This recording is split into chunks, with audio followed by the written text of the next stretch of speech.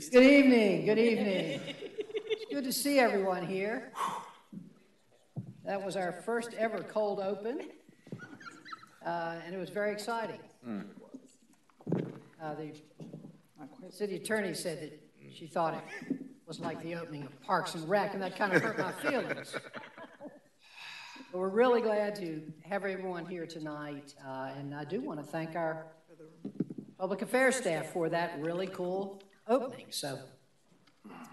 um, I'll ask you all first if you would please join me in a moment of silent meditation.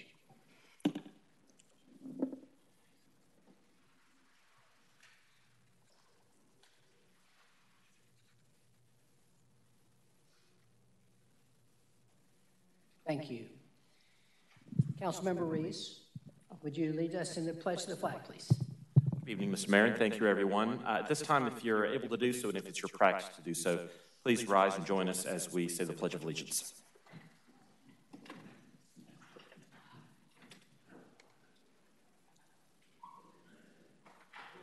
Pledge allegiance to the flag Of the United States of America, and to the republic for which it stands, one nation, under God, indivisible, with liberty and justice for all. Thank you very much, council member. Madam Clerk, will you please call the roll? Mayor Schewel, Here. Mayor Pro Tem Johnson, Here. Councilmember Alston, Here. Councilmember Caballero, Councilmember Freeman, Present. Councilmember Middleton, Here. Councilmember Reese. Here. Councilmember Reese. Thank you, Mr. Mayor. I wanted to uh, make a motion on behalf of our colleague, Councilmember Javiera Caballero. She is in Charlotte right now attending a funeral and won't return before the end of our meeting. So on that basis, I would move that we give the Councilmember Caballero an excused absence for this meeting. I'd like a second. Been moved and seconded that we give Councilmember Caballero a excused absence. All in favor, please say aye. Aye. Opposed, no. The motion passes unanimously. Thank you very much, Councilmember Reese. Thank you, Mr. Mayor. All righty, uh, we're here, we have one ceremonial item uh, today, and I'm very excited about it. It's our neighborhood spotlight, and I would like to invite Rena Pinnix to please come forward, and Ms. Pinnix, with anyone else that you would like to bring, family, friends, anyone from your neighborhood, or anyone else you would like to bring up. Come on all the way over here with me.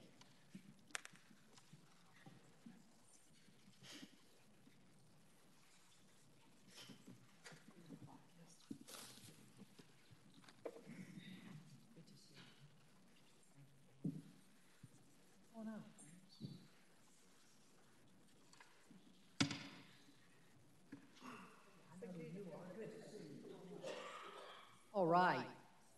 This is the neighborhood spotlight, the neighbor spotlight, uh, for the month of March. Rena Pinnix is the recipient of the Neighbor Spotlight for the month of March 2019. The Neighbor Spotlight Award recognizes community members that have gone above and beyond in volunteering their time to serve the community. This month, Rena Pinnix, a resident of Southwest Central Durham, was nominated and selected because of the wonderful work she has done in her neighborhood, including, but not limited to, ensuring neighbors get the food they need by partnering with local food banks and starting a community garden, advocating for safe, safe streets for her neighbors, which led to a permanent street calming project, caring for her neighbors by listening to them and connecting them with community resources to improve their quality of life. Congratulations, Ms. Pinnix, on being the March Neighbor Spotlight for the City of Durham. Thank you for all the work you do to improve our Durham community. And here uh, is your certificate, and I hope now that you will come forward and, and uh, say a few words to us.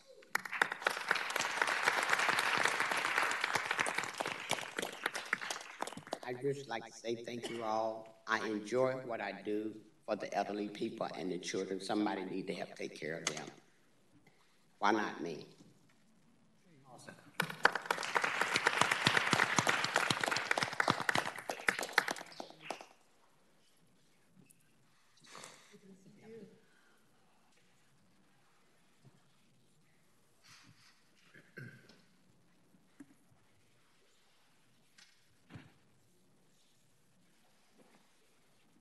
All right. We will now move to announcements by the council. Are there uh, any of my colleagues who have any announcements this evening? Any announcements by members of the council? No announcements, Mr. Mayor. Councilmember Reese. Thank you, Mr. Mayor. Just wanted to make folks aware that earlier this morning, I had the opportunity to join uh, uh, some fantastic volunteers um, to put in a morning of work on behalf of Meals on Wheels of Durham. Uh, this is a program that provides uh, hot, nutritious food uh, to seniors living in our area. Um, and a bunch of us were there. Um, Commissioner Brenda Howerton, who I believe is in the room. Are you here, Commissioner Howerton? There she is in the back, joined us, as did you, Mr. Mayor, and uh, Councilmember Caballero before she uh, left for Charlotte. Um, we had a great time uh, putting the meals together, and then we spent some time with the executive director of Meals on Wheels Durham to talk about the importance of this uh, institution and this, uh, this group in our community. Think I remember her saying that they serve about 300 and 300-ish, 350 uh, hot meals per day to seniors living in Durham, but that the waiting list is much longer than that, uh, much more than they could actually serve. Um, and so I just wanted to put in a plug for folks if you're looking for something uh, to, to do with your time. Uh, helping out one morning at Meals on Wheels would be a great idea. Uh, so had a great morning with them and uh, appreciate seeing my colleagues there. Thank you, Mr. Mayor. Thank you very much, Councilmember. Any more announcements? Anybody else have an announcement? Councilmember Middleton. Thank you, Mr. Mayor, and good evening, everyone. Uh, Mr. Mayor, as you know, Durham's not only a, a beacon of progressivism in the South, where we lead in just about every metric uh, that one would want to establish for a great city, but we're also a city of champions. So tonight, we'd like to congratulate North Carolina Central University men's basketball team on winning the MEAC championship. Our best goes out to our friend, Coach Moton. We also want to congratulate, uh, congratulate Coach K and the basketball team, Duke University men's basketball team for winning the ACC uh, championship as well. And we wish them, we wish them the best as they go on uh, to the NCAA tournament. Uh, finally, Mr. Mayor, um, I think every heart of goodwill on our planet um, was just made heavy last week with the absolute horror uh, that came out of Christchurch, uh, New Zealand. On last night, I had the opportunity to represent our city in Raleigh at the Islamic Association of Raleigh's uh, commemoration service, um, which was a moving um, and hopeful and sometimes tearful uh, remembrance uh, of those victims in Christchurch. But we, we recognize that um, the rhetoric has been sounding the same no matter what country or what city. So, Mr. Mayor, I just want to reiterate and underscore what you have championed um, for some time now about our city that we remain open, we remain inclusive, we remain loving, and we remain safe for all people. Um, thank you, Mr. Mayor. Thank you very much, Council Member, and thank you for being at the Islamic Association of Raleigh. Um, I, I, was in touch also with our uh, one of our local imams, uh, Greg Marrow uh, from um, and uh, I'll be uh, putting out a statement uh, with many of the sentiments that you expressed, Council Member. So I appreciate that. Thank you, Mr. Mayor. Thank you. also, I just a, a, couple of weeks ago, I had the humiliating experience of having to wear a UNC hat at this meeting. But today, I'm thrilled to be wearing my Eagles cap. So uh, go Eagles. All righty. Uh, thank you very much. And now we'll move on to the priority items. Uh, Mr. Manager, any priority uh, items? Thank you, Mr. Mayor. Uh, good evening, everyone. Uh, no priority items from the City Manager's office this evening. Thank you very much. Madam Attorney. Good evening, Mr. Mayor. I'm glad to be with you all. The Attorney's Office has no priority items this evening. Thank you. Madam Clerk. Good evening, Mayor and Council. I have no items. Thank you so much. Now we'll move to the consent agenda. The consent agenda can be approved by a single vote of the council. All these items have been previously considered in council work sessions. An item can be pulled from the agenda by any member of the public or a member of the council, and any pulled item is held until the end of the meeting uh, for consideration. I'll now read the consent agenda. Item one, item one, approval of City Council minutes. Item two, Durham Planning Commission reappointments. Item four, Durham Performing Arts Center Oversight Committee reappointments. Item five, 2019 unscheduled pipeline repairs contract, award of construction contract to Carolina Civil Works, Inc. Thank you. Item six, let me just make sure I don't have any items here that need to be pulled. The clerk has just sent me. Okay, I think all these are. Yeah, item uh, six, uh, unscheduled pipeline repairs contract, award of construction contract to JF Wilkerson Contracting Company, Inc. Item seven, 2019 sewer repair project contract award to Carolina Civil Works, Inc. Item eight, bid term contract for ferric sulfate solution, 13%, 9,200 tons. Item nine, amend the city's cross-connection control ordinance to establish an electronic filing fee and electronic filing of backwater prevention test reports, and to adopt a separate ordinance establishing the electronic filing fee. Item 10, proposed lease for Megabus Southeast LLC at Durham Station 515 West Pettigrew Street. Item 14, utility extension agreement with Hard Work with a Purpose LLC to serve 300 Chandler Road. I'm sorry. Thank you, Mr. Manager. Pointed out I missed item 11. I'm sorry. Thank you. Proposed lease for Greyhound Lines, Inc. at Durham Station 515 West Pettigrew Street. Uh, I read item 14 already. Item 15, ordinance amending specified sections of Durham City Code of Ordinances, Chapter 70, Article 3, Division 2, and Division 3. Item 16, contract ST 295, request for qualifications, RFQ for professional land surveying with Summit Design and Engineering Services, PLLC. Item 17, Lodge Street Regional Stormwater Improvements Amendment Number 1. You have heard the consent agenda, and none of those items has been pulled, and so I will now accept an, a motion uh, to approve the consent agenda. Move to approve. It's been moved and seconded we approve the consent agenda. Madam Clerk, would you please open the vote? Please close the vote. The motion passes 7-0. Thank you very much. We'll now move to the first uh, item on our general business agenda, public hearings, which is the FY 2019-20 Budget and Capital Improvement Plan. Uh, we're going to be conducting a public hearing to receive comments on the 2019-20 budget and 2020 to 25 capital improvement plan. Uh, we have a number of speakers who have signed up to speak here, and uh, I will first ask uh, for our report from staff. Thank you. Good evening, Mayor, members of council.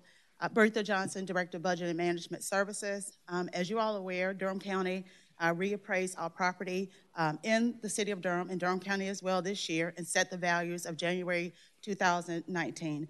These values will be used to set the tax rate for the fiscal year 2019-20 budget. So before we receive comments, I would like to share the updated values with the public.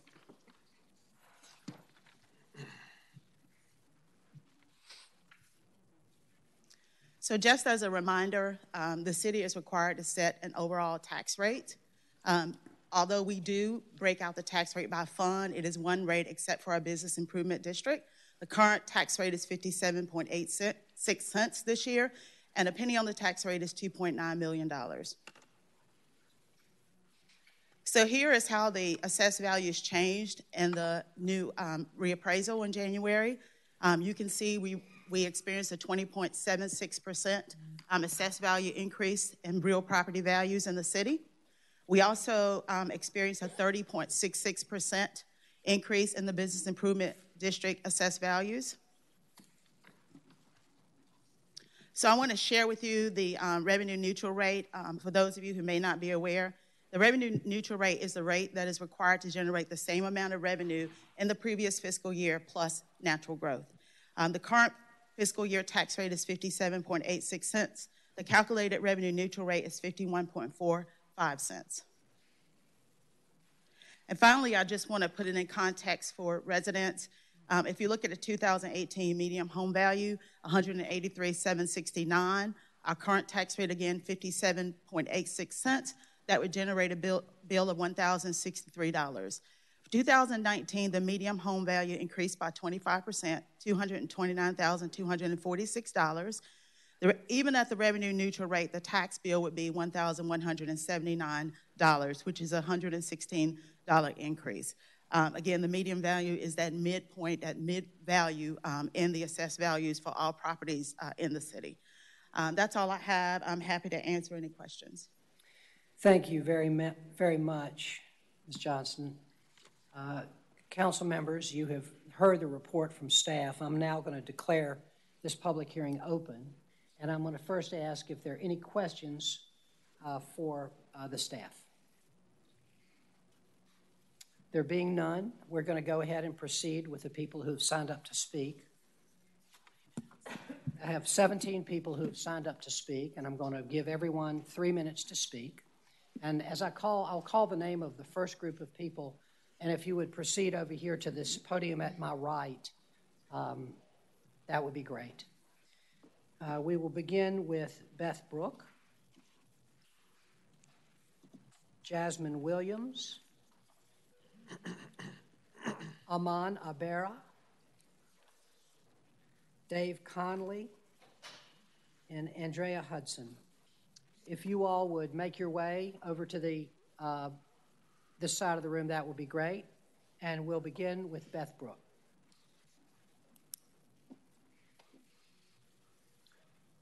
And Ms. Brook, if you would state your name and address, and you have three minutes. Welcome. Thank you all so much. My name is Beth Brook. I live at 1010 Iredell Street in Durham, North Carolina. Yay. Um, I'm. So I, we, we agree with you. we agree with you. Yep. Um, I am very concerned at the element of the budget proposal that is, was, uh, I guess, in a PowerPoint um, showing that for funding for 72 new police officers. On April 16th, 2018, the City Council unanimously committed to a vision of a Durham beyond policing, um, and perhaps what was the least controversial part of that policy statement. Um, I'm asking you tonight to please stay true to that commitment. Um, fund education, fund ed- affordable housing. That's why I voted for so many of you. You know, um, it was a key component of your platforms. Fund participatory budgeting. Um, as mentioned by Commissioner Reese earlier this evening, people here need food and community. Um, I just encourage you to fund programs that will interrupt pro- poverty, that will inter- interrupt mass incarceration, and to not fund any more police officers. Thank you. Thank you, Ms. Brook. Uh, we'll now hear from Jasmine Williams. Ms. Williams, welcome. If you could state your name and address, and you have three minutes. Thank you. My name is Jasmine Williams. I currently reside at 914 Gilbert Street here in Durham. I am a Duke graduate and I've been residing here for five years. I'm here before you on behalf of the um, Demilitarized Durham to Palestine Coalition as well as um, a community within Durham to oppose any allocation of funding to add numbers to the police force um, within the next few years and hopefully never. We have watched um, the addition of the police headquarters um, drain necessary resources um, from our public for the sake of, of safety when we know that Durham has a problem with the overpolicing of black and brown people. With no cohesiveness of law enforcement agencies in this community, I think it's critical that we take whatever funds we are working to place in the hands of the police department and instead place it into the hands of the community and invest into community resources such as public housing, um, transit, jobs, um, and so forth. We are in need of a city that will go to bat for black and brown folks, poor folks, disabled folks, and all other folks of Durham, especially in the rapid increase of gentrification in the city. Thank you. Thank you very much. Aman Abera, welcome. You have three minutes. Hi, um, I'm sorry. My name is Aman Abera. I live at 2 Little Spring Lane. And uh, I'm a graduate student at Duke University and a resident of Durham for almost four years now. I'm also here as a member of the Demilitarized Durham Palestine Coalition. And I want to reiterate Jasmine's comments and Beth's comments to oppose that the, uh, the Durham City Council budget that proposed spending millions of dollars to hire more police officers I unequivocally oppose the idea that to improve public safety or reduce crime levels, we should spend more money on policing rather than making investments in the community that address the root causes of crime, including poverty, homelessness, and the lack of access to education and jobs.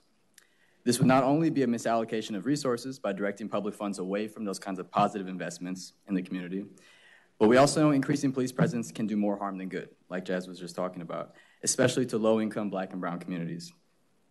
Many city council members ran on platforms of finding alternatives to policing, and last year you boldly ended, uh, voted to end police exchange programs with foreign militaries, including the Israeli military, that reinforce and increase militarized and counterterrorism style policing practice. So I just want to quote from that April 16th statement. You said, Our community is working towards a time when we are beyond policing, when everyone has a good job and excellent health care, and a safe, warm, affordable place to live. You concluded that statement with Black Lives Matter. We can make that phrase real in Durham by rejecting the militarization of our police force in favor of a different kind of policing. So I really hope you all will recommit to upholding this statement and recognize the interests of the community and oppose that aspect of the proposal to hire additional police officers. Thank you. Thank you very much, Mr. Rivera. And we'll now hear from Dave Conley. Welcome, Mr. Conley. You have three minutes. Good evening. I'm Dave Conley, 3 Bland Spring Place, Durham 27713. I'm chair of the DOST, the Durham Open Space and Trails Commission, and we recommend that the city allot $2 million each year toward new trail planning, design, and construction. We believe that multi use trails are a healthy investment in a walkable, bikeable future for Durham. Trails provide better health, lower medical costs, improved water and air quality, local jobs, transportation choices, and outdoor experiences for all ages, abilities, and incomes. By leveraging federal dollars, Durham's 2 million per year could effectively generate up to $10 million toward new trail construction. I believe the case has already been made to, for us to catch up on the maintenance backlog of our older existing trails, and we support that. We also asked the city for staffing to begin implementing the Urban Open Space Plan. It's a great plan. Now let's see action upon it. So we thank you for considering this $2 million annual commitment to trails. We also wouldn't turn away a $40 million bond referendum or a second half penny for parks and trails, but perhaps those are conversations for another day. Thanks very much. Thank you very much, Mr. Conley. I will now hear from Andrea Hudson. Welcome. And while she is uh, speaking, if I'll, I'll now call the next group of people, if you all could also come over here to my right. Mab Segrest, Denise Hester, Danielle Purifoy, Maria Monsanto, and George Vaughn. If you all could also come over here to my right, that would be great. Thank you very much. Ms. Hudson, welcome. You have three minutes. Thank you. My name is Andrea Hudson. I live at 322 Junction Road, um, 27703. I'm here in opposition of granting the Durham Police Department approximately $1.7 million to add 72 full-time police officers over the next three years. To put it plainly, DPD is trying to fill a building that hundreds of community members um, of various um, communities in Durham didn't want in the first place. We don't need more cops, nor want more cops in the streets of Durham. Um, Furthermore, DPS is spending is sending who knows how much public dollars advertising in places like Planet Fitness, begging for people to apply to their academy. The begging for office, officers continues with an attractive benefit package that includes an employee assistance program that includes counseling for both family and officers for medical, dental, and health insurance, a take home vehicle designed to be inconspicuous, paid life insurance, and paid funeral leave. With all these benefits, you think there would be plenty of applicants rolling in, but that is simply not the case. Perhaps people don't want more cops because cops are not what keeps Durham residents safe. We, the members of the community, keep us safe. More often than not, cops escalate situations than otherwise. The fact is that crime has been going down consistently in Durham over the past few years, so why would we need more cops? And um, it's strange and in a way that um, I saw a brand new 2019 red Charger that a police officer gets to take home. And if you've got officers taking home cars like that, I took a picture of it and I was like, yo, where you get this car from? I didn't know they did cars like that. He was like, oh, they did that when I became an officer. So, I mean, um, I just don't think we need, we could spend that money doing other things. We have other programs that can be um, that could benefit from that. We can have programs that could benefit um, second chance for people coming home for, with reentry. We can have programs for kids where they won't need as many police officers because they have somewhere to go. We can fund, fund boys and girls clubs. We can fund um, Village of Wisdom. We can fund CIP. There are just so many different organizations that we can fund that would be able to benefit our communities other than giving 72 new police officers over the next three years. Thank you. Thank you, Ms. Hudson. We'll now hear from uh, Mab Segrest. Welcome, Ms. Segrest. You have three minutes. Yes. Um, I live at 1419 Ruffin Street. I'm very glad to be back in Durham after a good many years, and I'm with Southerners on New Ground. I'm here also to speak against the proposal to spend $1,729,573 for 72 extra police.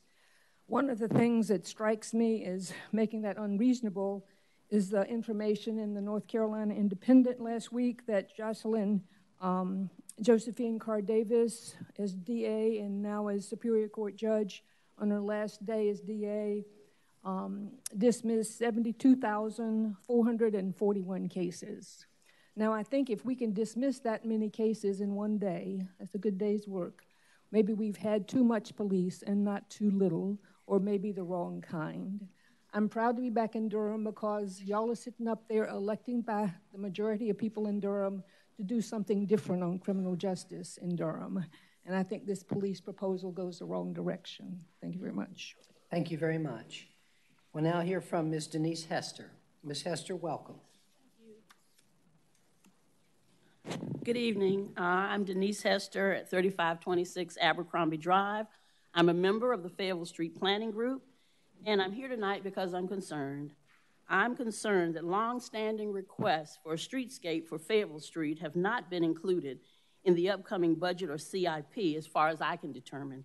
This is a follow-up to our most recent request from June of last year, from our original request 14 years ago in 2005, and from requests in interim years in between.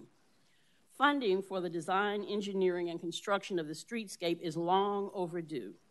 And it's not that the council doesn't have the appetite for streetscape funding, as streetscapes for the other three gateways into downtown have all been funded, some more than once. Only Fayetteville Street has been left out. Fayetteville Street is one of Durham's longest transportation corridors. It's home to Durham's historic African American community with landmarks, his, uh, Hayti Heritage Center, Stanford Warren, North Carolina Central, Hillside High School, over 100 uh, uh national and local businesses, and, and the Fayetteville Street Local Historic District and the Stokesdale National Historic District. The Fayetteville Street corridor's attributes reflect many of the city's goals um, neighborhood commercial nodes, walkable neighborhoods, historic assets, parks, churches, affordable housing, everything except the money. Now, its infrastructure needs have been neglected for far too long. Broken granite curbs in front of uh, B.N. Duke Auditorium and along the local historic district, broken sidewalks, awkward intersections, such as the one at Lawson, I'm sorry, Linwood and Fayetteville Street. A streetscape plan would correct many of these deficiencies while providing much needed economic development for local businesses and residents. The measurement of a city's commitment is reflected or should be reflected in results, not intentions. Not sharing our city's booming prosperity on infrastructure for Fayetteville Street, I fear, will only increase the growing economic divide that threatens our city's future. And I think that divide is apparent to everyone in this room as it manifests itself in all kinds of unfortunate ways. Um, we have a chance to do something about it, and I hope you all have heard our plea. Thank you. Thank you, Ms. Hester. We'll now hear from Danielle Purifoy. Ms. Purifoy, welcome, and you have three minutes. Thank you. Um, I'm Danielle Purifoy. I live at 2032 Inglewood. Um, and I'm here with a group of uh, community members and various uh, grassroots organizations in Durham um, my con- comment also concerns the 2019-2020 budget pertaining to the, um, the proposal for an increase of 72 police officers. Um, I've been seen, I'm sure, uh, before the city council several times in the past um, because of some increase in the city council budget for policing over the last uh, three to four years. First, it was the $71 million that was allocated for the new police headquarters. Uh, second, it was um, the fact that the police were accounting for 60% of the public safety budget. And then it was because of a 5% poli- uh, increase in police funding last year. And now it's because of this massive proposed increase in police officers. The continued prioritization and promoting of the police as a public safety measure for our community, despite all evidence of police abuses in black and brown communities, despite evidence that the police do nothing to address poverty, homelessness, violence, or any of the issues that our communities face. We increase support for the police no matter what happens. And we particularly credit them when things like crime goes down, even when there are other programs that are active in our communities. And we never give credit to those other um, um, communities. It's always um, incentivize the police, increase the police. Um, and we don't nearly, and we also don't support other programs in nearly the same way. And as an example, um, the eviction diversion program got half of what they asked for, right, for this past year's budget. There are other sorts of programs, and I've, you know, I could just sort of copy and paste from previous, right, um, previous times I've been here, right, for restorative uh, funding for restorative justice programs, to support jail diversion programs, to support emergency responders that are not the police, right? We could have medics and counselors respond to conflict, um, conflict mediation, um, various, dis- um, various disputes. We could have all sorts of alternatives that exist in other cities across this country um, that you know would not involve uh, the police. We could um, support pilot programs for universal basic income. We could give more funding to participatory budgeting. Um, we could support the rehabilitation of housing and other programs. We could support a youth workforce. I could go on and on. The bottom line is that we continue to support police despite any evidence that um, despite all evidence that they do not keep us safe, right? There's not, there's not an actual nexus between the police and, and, um, and the issues that plague our communities, right? We have plenty of professionals, right, all across this community. University, we have, you know, some of the, some of the, um, uh, the best and most well-respected professionals, professionals in this country that could address a lot of the, the root causes of these social issues if we would just support them with our funding. Thank you. Thank you, Ms. Purifoy. We'll now hear from Maria Monsanto. Ms. Monsanto, welcome. You have three minutes. Hello, hello, City Council. Hello, folks. My name is Mariah Monsanto, no relation. Um, I live at 2341 Cherry Creek Drive, and I'm also here to echo the members of my community who that are, I am personally against the increase of 72 police officers over the next three years. Um, simply put, um, in the presentation to um, the public presentation that um, the department made in favor of why we need more police. They really centered safety, and um, for me, that's laughable. Um, to say that the police are responsible for creating safe spaces in Durham is um, pretentious at worst and like erasure at best in terms of the communities actually doing work to keep each other safe. Um, so to just, again, to echo what um, Danielle said, funding things, funding places, funding people, putting more money in the community's hands to do things that are um, going to keep us safe, that make sure we're taking care of each other because um, time and time again, police have shown that that's not the case. Um, so thank you for your time, and um, I hope you're considering putting that on hold and making sure we get a chance to have a say on our futures and how we keep each other safe. Thank you. Thank you, Ms. Monsanto. Uh, Mr. Vaughn, uh, while Mr. Vaughn is coming to the podium, I'm going to ask the next group of people to please come over here to my right. Um, first will be Ellen Pless. Second will be Keisha, sorry, I'm having a hard time, maybe Mullet. I'm hoping I'm reading that right. Jose Romero, Ron Baron, and Ideal Ortiz. If you all could make your way over here to the right, that would be great. Mr. Vaughn, welcome. Thank you, Mr. Mayor. Uh, my name is George Vaughn. I live at 1022 Westwood Drive in historic Forest Hills. In item 20 of tonight's agenda, there is a request from the planning director for funds to hire a consultant to help with Forest Hills uh, Neighborhood Protective Overlay application. On August 1st, the JCCPC voted to prioritize our application, and that has an 18 month lifespan, lifespan, and we're about a third of the way through that. Forest Hills is the quintessential NPO candidate. We tick all the boxes. We have a very strong neighborhood consensus within the tightly defined neighborhood. 64%, uh, when we started this process, 64% of the homeowners signed the petition for the NPO within a four week period. And I think that indicates a pretty strong neighborhood support for the NPO. And the planning department just needs some funds to get the work done within our time frame.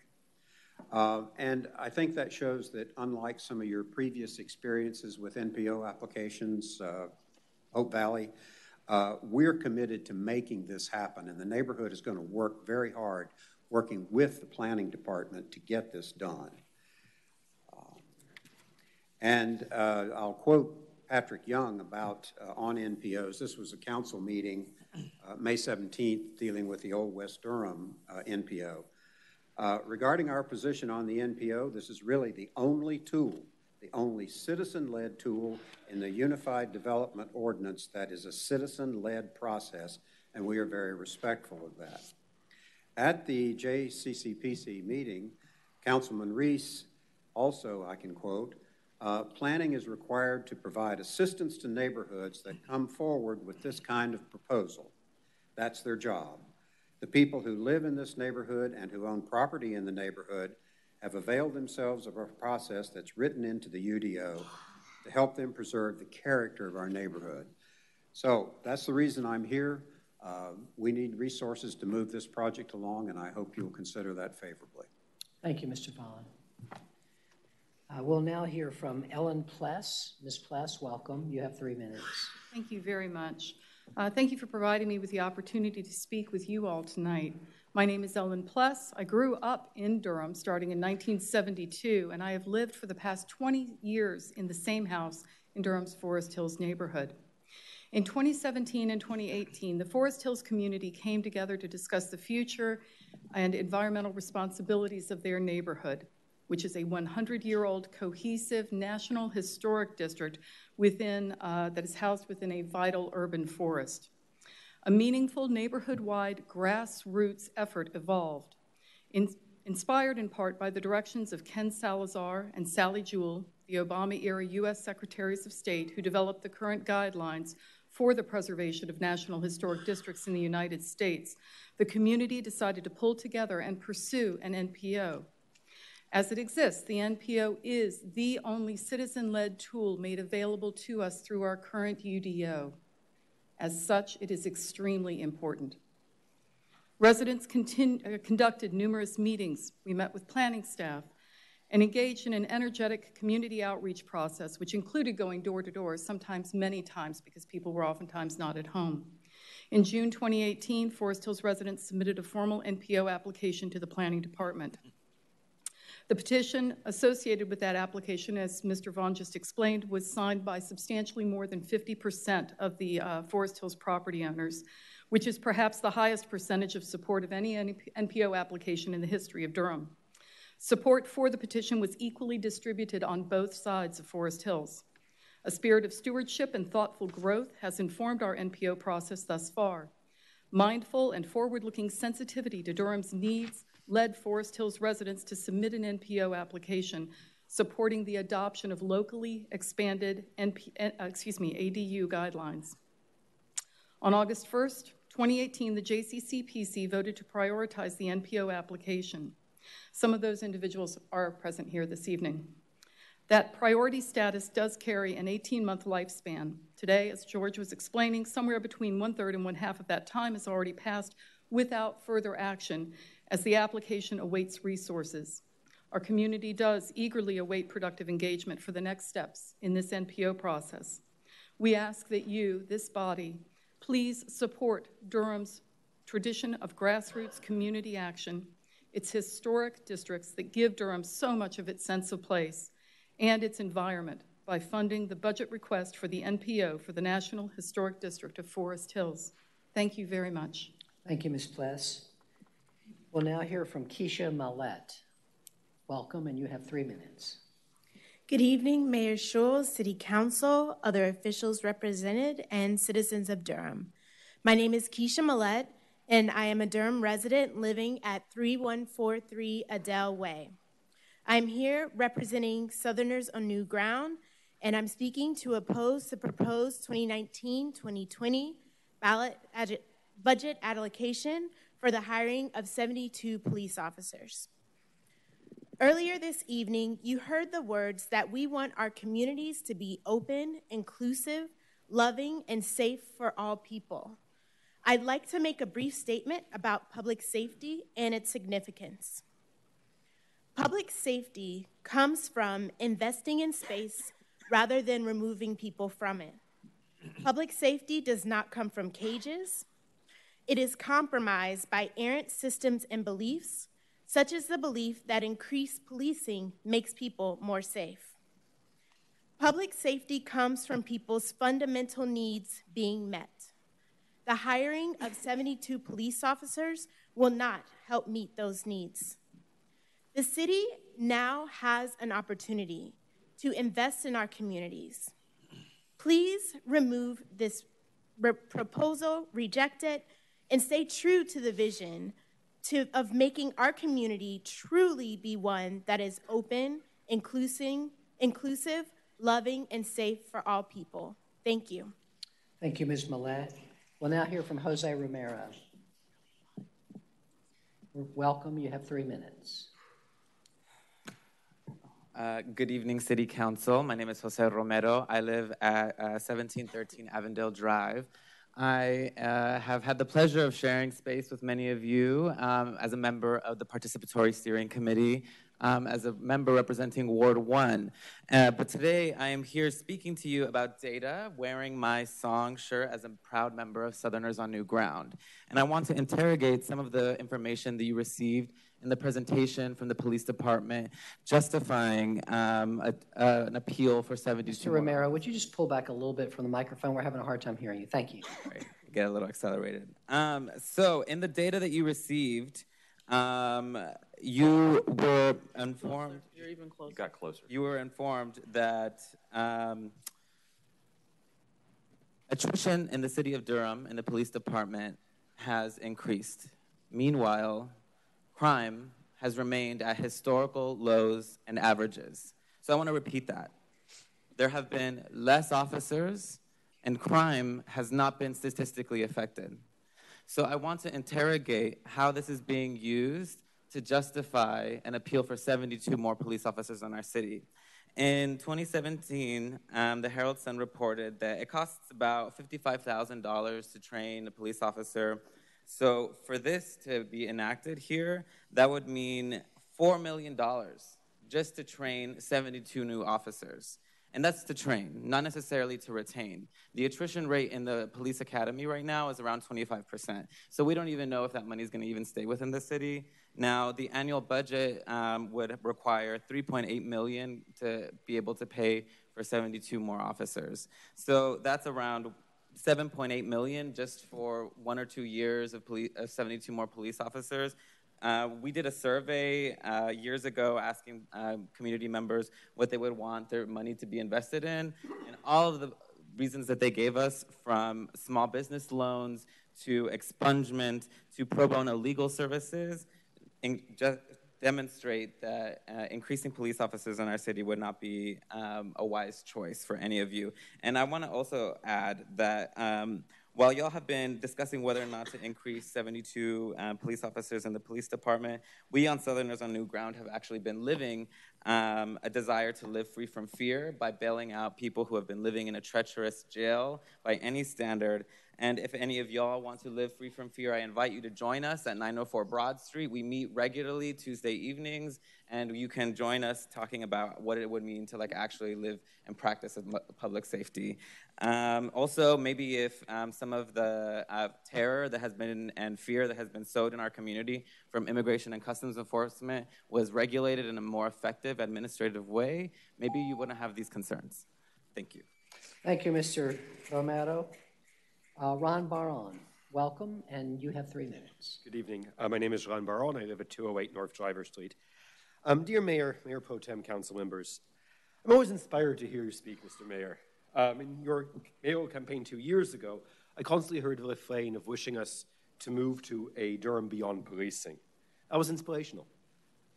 You spoke then of a need for affordable housing, public education, and many other poverty reduction elements necessary to move towards this vision of our shared future. That was inspirational. In the past couple of years, we've made great strides despite powerful forces working against us. These strides will only be strengthened through a $95 million affordable housing bond and the expanding housing choices program that will hopefully be passed soon. That is inspirational. I've ever heard with dismay the request from Chief Davis for an increase of 72 officers for the Durham, Police Department. We had an increase of 36 positions at, at DPD just three years ago.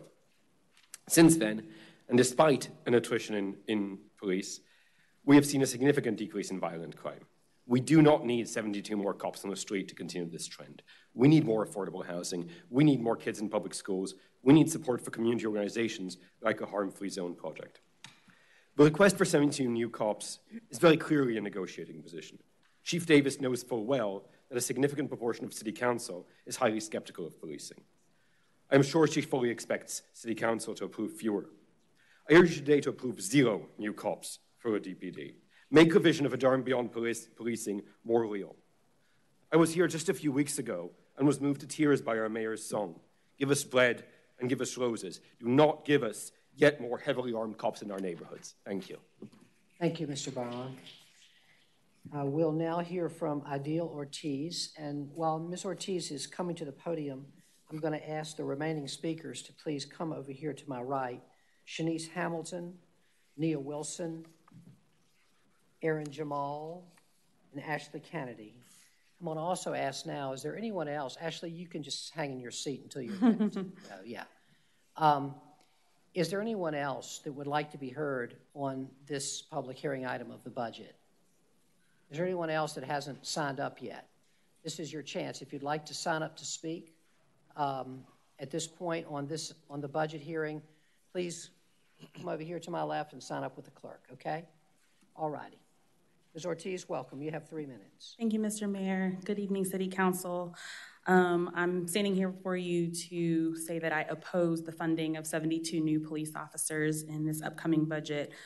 Um, for me, I would love to see dollars fund the streetscape on Fayetteville Street that Ms. Hester was talking about, fund revolving loans so that communities that have been historically shut out of residential building can participate, fund equitable engagement so that tax funded plans and designs are actually relevant and useful to the communities that they're meant to serve. Um, and I'm also really fully aware of the historical context in which police have been used to lower property values in neighborhoods that are now rapidly gentrifying. And as an East Durham resident, I want to share with you a little bit of my own personal experiences with that. I've lived in that neighborhood for a little over 15 years, purchased my house in 2003, and a little bit about Operation Bullseye. When we look at the um, outcome of that effort, which was um, headed up first by a PR campaign encouraging residents to call the police for any and every little thing. If the wind blew too hard through your trees and made a strange sound, call the police. And those call numbers did increase the number of patrols. It validated that kind of police presence in our neighborhood. And here's what that police presence did for my life personally. I was asked why I would want, when I was stopped erroneously by police, I got stopped several times. It became one of those things where coming in or out of my neighborhood was like stopping at checkpoints. And I was asked, why do you want to live here? When people realized by looking my address that I actually lived in the community I was driving to. Seeing my Carolina sticker on my car, they thought I was incompatible to that community. They asked me what kind of business was I running in my house when I called them for a car break in and insinuated that I was a sex worker. I also got to spend a year doing ride alongs, three to four days a week three to four hours at a time when I was doing my clinical internship at the Center for Child and Family Health. And while riding through my own street, the officer commented that the best thing that could happen to my community was to tear it down and start all over again. Watching multiple cars arrive at the scene of minor infractions only aggravates the situation in a community and demonstrates a heavy handed approach to what otherwise could be simple interactions. If the police department is this strapped for staff, then I don't need to see them at neighborhood barbecues or at bike safety events. They need to stick to the critical things that are in their mission and not be wandering off with mission creep. And so, for those reasons and many others, like knowing that my safety comes from community, I ask you to not fund that. Thank you, Ms. Cohen. Ms. Ms. Ortiz. Um, and now we'll hear from Shanice Hamilton. Ms. Hamilton, welcome. You have three minutes. Thank you. My name is Shanice Hamilton. I live at 1940 Buffalo Way. Um, when thinking of a Durham for all, ending the overpolicing of our black and brown neighborhoods is a vital part of achieving this dream. As a Durham native, I can say firsthand that one resource Durham is not lacking in is police officers. Durham is lacking in resources that to decriminalize poverty, mass incarceration, and affordable housing, just to name a few. Durham is lacking in proper training for the police officers we currently have to decriminalize our people of color in this community. Our black and brown folk do not feel safe and respected, and frankly, at times, seen or treated as human beings in this city. So let's work to change that. Um, as a soon to be mother, it terrifies me to think that raising my black son in a city that is crawling with police officers. I'm, I'm even more terrified that this could possibly be happening in my hometown. So I urge you to consider the effects this will have on the folks who make up this community and vote against adding more police presence in this city. Instead, listen to the people working on the ground who've spoken up here today and use those resources to fund organizations and opportunities that are fighting for the real safety and rights of our people. Thank you. Thank you, Ms. Hamilton. We'll now hear from Nia Wilson. Ms. Wilson, welcome, and you have three minutes. Good evening, everyone. Good evening. My name is Nia Wilson. I live at 224 West Trinity Avenue. Um, I've been here before you before for this very reason, so I'm here to speak also, in addition to everyone else who has spoken about not funding the police department. I came up here before, I think it was about two years ago, and I presented some of you with photo albums of pictures of people standing with signs talking about what safety meant to them. I asked you to put those photo albums on your desk and to look at them every time you had to consider what you were going to fund and what safety looks like. I am a black woman, I am a black daughter, I am a black mother. What I know is at no point in time in the history of this country has the institution of policing kept the black community safe. I'm gonna say that again so everybody can hear, including the black folks who think, because there are folks who live in neighborhoods who are concerned, who have real issues, and they think that increasing police officers in their neighborhood is going to keep them safe. But I would ask any of you to go through the history books and find one time in the history of this country where the institution of policing, I'm not talking about individual police, I'm not talking about individual incidences, where the institution has actually kept us safe. You will not find it. I guarantee that you will not find it. Besides, beyond asking you not to fund 72 police officers, I'm going to ask Durham to be as innovative as we are. I'm going to ask you to fund the alternatives. There is a whole body of people here who have been working on this issue, including Spirit House and our Harm Free Zone program, for more than 10 years, with absolutely no resources from the city. Instead, what the city has done is to pull people out, pull programs from other places across the country that are not rooted in what the people and the community who are invested here have asked for. So I'm going to ask you to pull together a task force.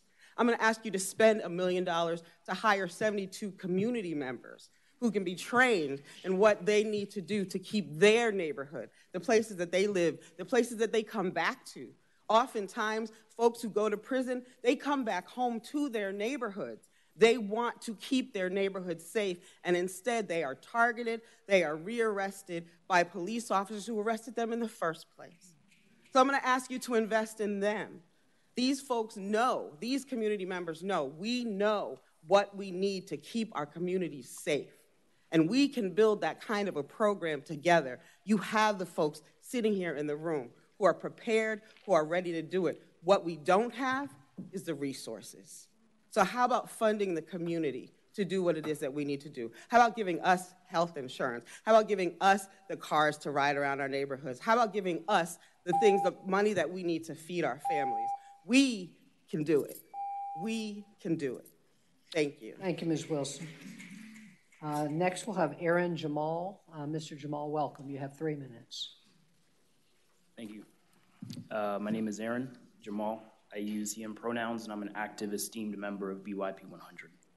And I just want to offer a few brief remarks, um, specifically to the budget item in the 2019 2020 budget that seeks to impose 72 more police officers into our neighborhoods and into our lives. Uh, the first point I want to make is the problems in our communities cannot be solved by cops. These are structural issues that predate all of the advances in technology, all of the best ideas and research about how best to police and interact with black people. Issues like gender based violence, racial injustice, economic exploitation predate the work that these police officers claim to try and solve with their weapons and guns. These are structural issues that require expertise from counselors and teachers and organizers, not more action with people who want to take our lives. Um, the second point I want to make is I've spoken here once before, just after the historic elections in 2017 here in Durham. And uh, one of the things that was inspiring about that election was that we decided as a people that we wanted to have a city council that represented our interests. We were not interested in a city council that was going to make decisions against our children's lives. And so this is not a demand. This is not a demand. I expect you to vote the right way on that budget item. I want to find, uh, finish this, this, these brief comments um, with the statement that the role of a good society is to nurture each of us to reach our full dignity and to reach our destiny. The role of the police is to protect and serve violence. Make the right decision and free our futures. Thank you. Thank you, Mr. Jamal. We'll now hear from Ashley Kennedy. Welcome, Ms. Kennedy, and you have three minutes. Don't start the time yet. I'm getting up there.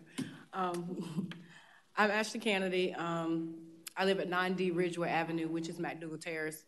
And I sit on several organizations in Durham, but I'm not coming here today sitting on any organization. I'm coming today as a parent and as a person who has had several meetings in my community and several other communities um, as a lot of you know, I stay in McDougald Terrace. And in the last couple months, we've had a lot of issues going on out there in McDougald Terrace. And it isn't just about our safety. We speak about safety, but it's not even safe to live in our own apartments. When we stand in there and you have toilet water running on your head, and it takes two and three months just to fix it because public housing doesn't have the funding. I've had a hole in my roof for the last since the last hurricane I was walking through my, well, crutching through my neighborhood, listening to the residents complain about the feces that we have to step on in our backyards because housing authority can't afford to the plumbing fixed. We were planting trees the other day, and people were like, "Oh, that's feces. You shouldn't be able to walk through McDougald Terrace, and there's feces behind buildings." Today we had three pipes bust in McDougald, and they're trying to figure out, "Oh, how are we gonna um, fix these pipes?" So they come and tape and patch things up. How about we use money to, for that? McDougald has been standing here for years, years, and haven't had any construction. And also, as you see, I'm on crutches, and the potholes in Durham. The potholes. I stepped off the Durham da- the DATA bus into a pothole, and look where I'm at today. And this is the third time this has happened. So instead of funding our police department, let's think about things like that. Thank you. Thank you, Ms. Kennedy. Is there anyone else that would like to be heard on this item? Is there anyone else before I close the public hearing on the budget that would like to be heard tonight? All righty, I'm going to now uh, declare this public hearing closed, and I want to thank everybody that came out tonight. We appreciate it very much that you all are here, uh, that you all have made your voices heard, uh, and I want you everybody to know that we take it very seriously and we're listening. So thank you very much for being. All right, uh, we will now move on to item 21, uh, the Oregon Street closing. And um, I'm going to first hear from staff. Good evening. I'm Emily Struthers with the Planning Department. I'd like to state for the record that all Planning Department hearing items have been advertised and noticed in accordance with state and local law and affidavits of all notices are on file in the Planning Department. Regarding Oregon Street closing, Robert Shunk with Stewart, on behalf of Duke University, requests to permanently close a 1,794.18 foot linear foot portion of Oregon Street, located between Campus Drive and Erwin Road. The right-of-way is currently dedicated and improved. If this request is approved, the closed right-of-way acreage will be added to the adjacent parcels owned by Duke University, as shown on the associated street closing plat, attachment four.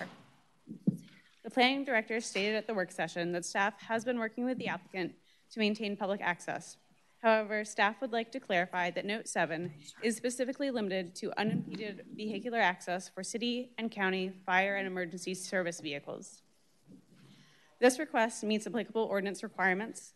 All comments have been addressed, including the conversion of Oregon Street sewer and water to Duke ownership. Staff recommends the permanent closure of Oregon Street. Staff is available for any questions. Thank you very much, Ms. Struthers. You've heard the comments, you've heard the uh, report from staff, and I'm going to now declare this public hearing open. Uh, we have one person to speak on this item, Mr. Robert Schunk. Uh, we're going to hear Mr. Schunk, and, and then, uh, colleagues, uh, you all will remember that this is the item that we had discussed, uh, keeping the continuing this public hearing. Um, uh, to another date, but we'll go ahead and hear Mr. Schunk, and if there's anyone else that would like to speak on this, and then we'll take that, uh, we'll take that up. Mr. Schunk, um, first of all, let me just ask, is there anyone else here who would like to be heard on item 21? Anyone would like to be heard on item 21? All right, Mr. Schunk, welcome. Uh, good evening, Mr. Mayor. I reside at uh, 2627 University Drive here in Durham. I did not come uh, prepared with any specific uh, comments, but here to ask or answer any questions you may have. I understand you just said about wanting to continue the item, um, and I'll leave it at that. Thank you. Yeah, thank you. Uh, thank you, Mr. Schunk. Uh, colleagues, uh, I'm going to uh, recommend, as I did at the work session, that we continue this public hearing. this, revol- this, res- this involves the um, the transportation system having to do with Central Campus uh, of Duke University near the light rail. Uh, and uh, I'm going to be recommending that we continue this public hearing. I'll accept any comments at this point from council members, if there are any. All righty, I'm going to continue this public hearing. Uh, we'll keep the public hearing. Do a date certain. Uh, and we will continue it to, uh, manager says a date certain. let's see, what would a month from now be? April 15th. We'll make it the end of April. April, uh, the first meeting in May, which would be May 6th. May 6th. We're going to continue this public hearing and keep the hearing open until May the 6th.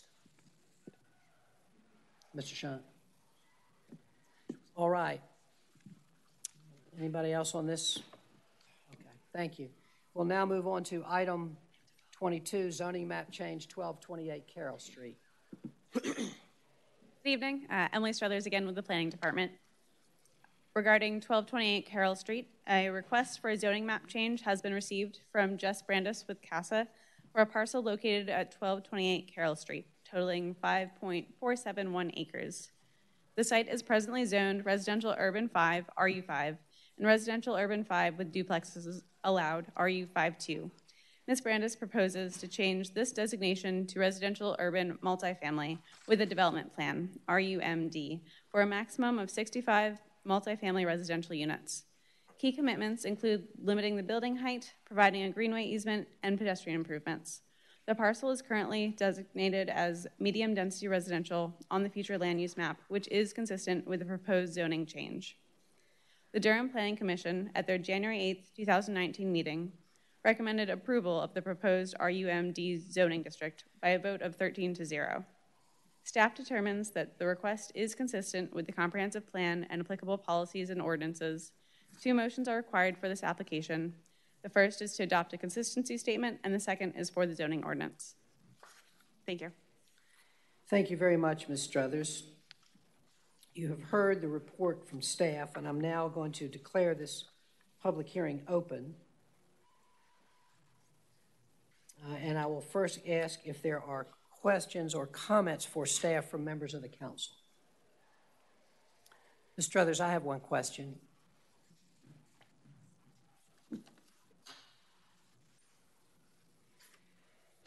Could you please explain the proffer concerning the entrances to the property? I, I wasn't quite, quite clear on the history of that and where it ended up. after I read the, uh, the material. Sure. So during the Planning Commission uh, meeting, concerns arose, arose regarding um, the access uh, specifically off of Lakewood Avenue.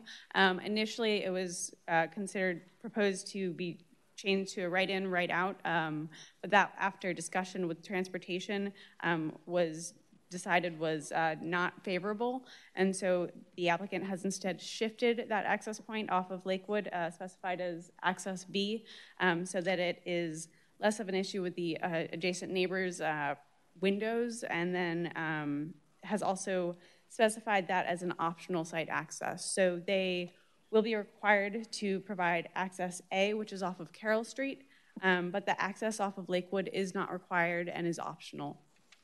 When you say it's optional, is it optional to the developer? Yes. Okay. So they can choose to do it or not do it, and if they do it, that has to be in the in the position which the proffer indicates. Yes. And that's been worked out in concert with the neighbors. Um, I that that has been worked out through uh, with transportation and the applicant. Um, I can't speak to the uh, involvement that the neighbors have had in that decision. All right, thank you. Mm-hmm. Any other questions for Ms. Struthers before we hear from our speakers? All right, thank you. Uh, we have two people signed up to speak on this item, both proponents, uh, Jess Brandis and Mary Jane Seda. Um, is there anyone else that would like to speak either for or against uh, this uh, rezoning? Any proponents or opponents? All righty, if not, then uh, we'll hear from our two uh, speakers, and we'll start with you, Ms. Brandis. Um, Will three minutes do it for you? Great, welcome.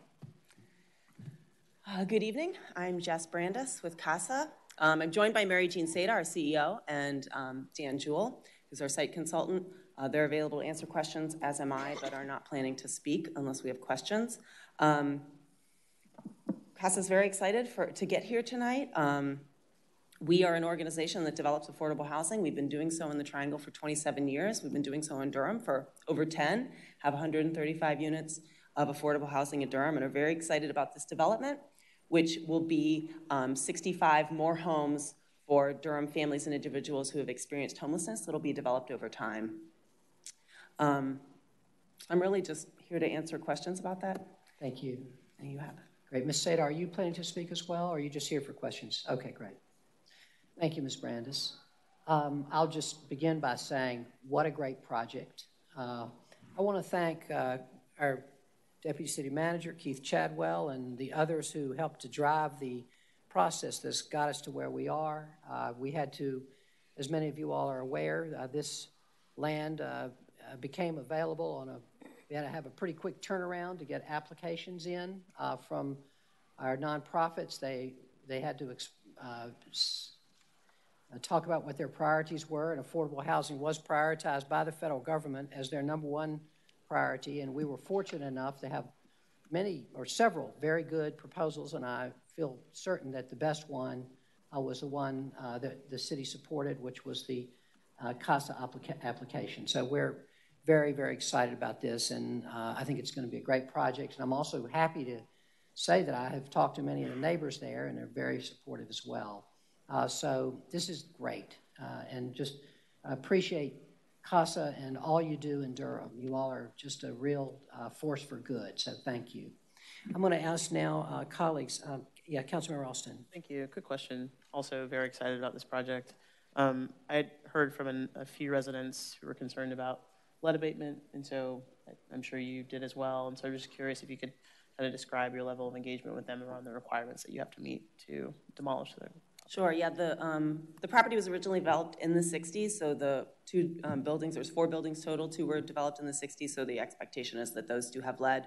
Um, we'll be demolishing all the structures once we retain ownership of the property, um, and we've committed to doing what's called a wet demolition um, in terms of uh, minimizing dust and, um, and things like that that would cause lead to be in the atmosphere.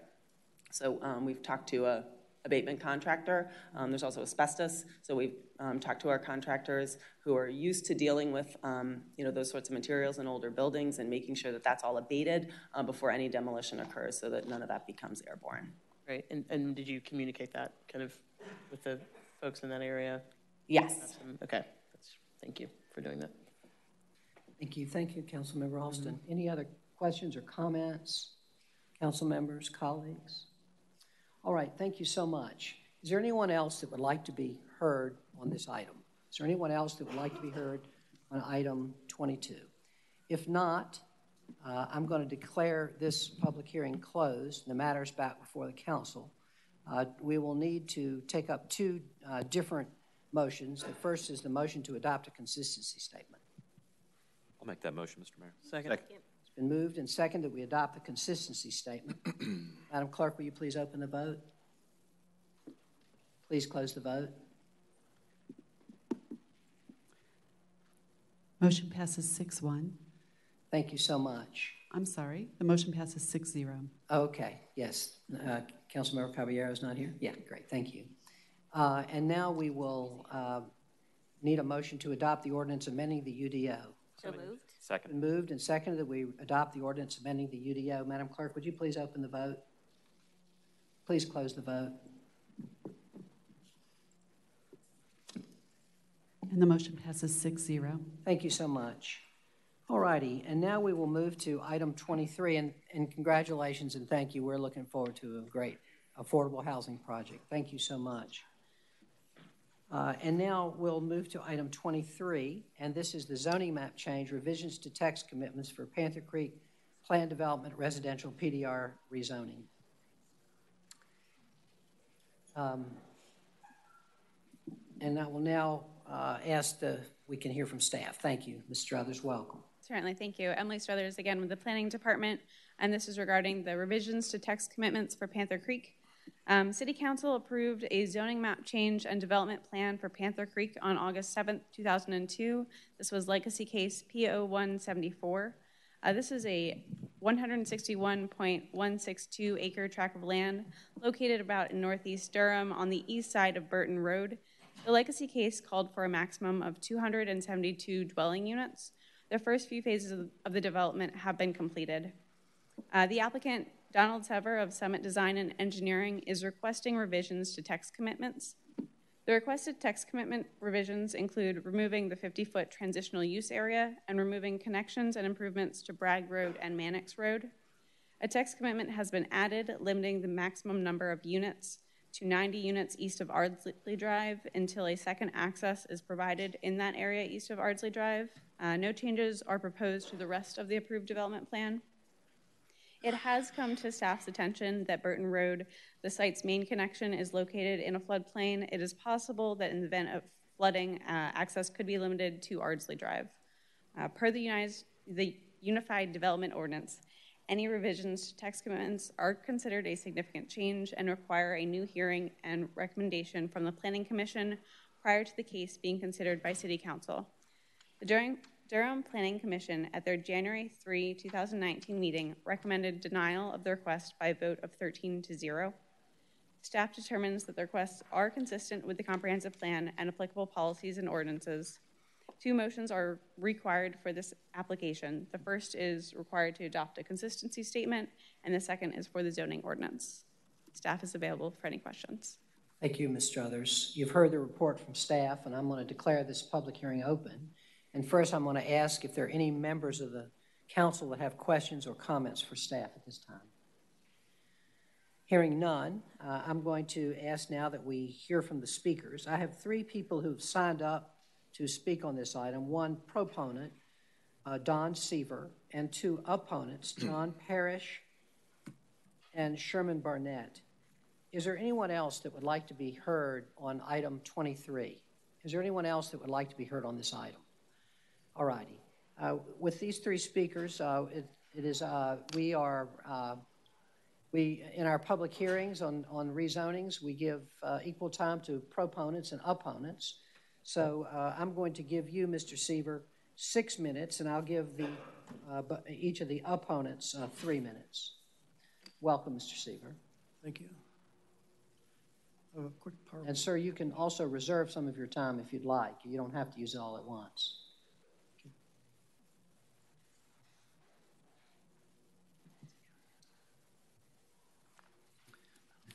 Good evening, mayors, member of council. My name is Don Sever. I'm Senior Project Manager with Summit Design and Engineering, headquartered at 503 Meadowland Drive, Hillsborough. I'd like to briefly talk about the Panther Creek 3 and 4 text amendments. We have three text amendment change requests. One is the site egress change from 60 to 90 lots. The second is also site egress, remove mandatory Bragg Road access, and modify the 50-foot transition buffer. Excuse me, Mr. Sever, can I just interrupt you for one second? Are these proffers that you're making now that are different from what you said at the planning commission? I'm not sure exactly what you're telling us about this point. Um, At the previous meeting. Yes, sir. Planning Commission, was voted 13-0 against because there wasn't clarity on what we're asking for. Yes, sir. So we asked for some exhibits to show, to just further explain it. And at the end, we will be making a proffer for the transition buffers. Okay, thank you. Sorry to interrupt you. No problem. Um, These, for the request one, site egress, 60 versus, 60 versus 90 lots. The notes 10 and 11 on the approved development plan listed a maximum of 60 building permits before a connection to Mannix or Bragg Road is made. We added note 22, which is a maximum of 90 lo- units east of Ardsley will be permitted until access is provided. Our justification is because the current UDO requires a second egress after 90 certificate of occupancies are issued. With the added note 22, we exceed the UDO requirements with three egress points, Burton, Ardsley, and likely Mannix. Ardsley Road is not in the floodplain and allows egress separately from Burton Road, which is in the floodplain. This, the Panther Creek parcel is highlighted in red. A large portion of the property is bounded by floodplain from Panther Creek on the northern part of the site. On the right side is where Burton Road is, Ardsley is in the middle left, and Mannix and Bragg Roads are to the right. Our second request is to remove the mandatory Bragg Road access. We want to modify our note 12, which is removing references to connect into Bragg Road, but keep Ardsley Road commitments. Our justification is the current UDO allows for alternate means of egress when environmental factors are present. Making a connection to Bragg Road would require significant impacts to wetlands and streams, especially because such connectivity would be at a 90 or a 45 degree angle versus perpendicular. Right of way will be dedicated in the event a future connection is warranted. The wetland map shows a large portion of the site that is in jurisdictional wetlands. Our plan is to avoid the majority of the wetlands by building a roadway crossing in the middle. This is in between the wetlands and the Duke Energy Power Line towers. In summary, we propose to make the connection east of, Ardsley, but wants the flexibility of connecting to either Mannix or Redwood Road, depending upon how negotiations go with the adjacent property owners. The development plan is showing the entrance road in the 100-foot stream buffer and lots within the 100-year floodplain and wetlands. The site is bisected by the Duke power line that is 200-foot wide easement. We will talk about the 50-foot transition buffers in a moment. This sketch shows the revised layout and possible connections. On the right-hand side is where Mannix Road is, and we're showing three possible access point locations. Um, This is just a graphics. We're not committing to any of these, but we're just showing what our various options are that we would like to proceed with. The right-of-way dedication on Bragg Road in the middle is something that we are committing to as, as part of the overall site plan.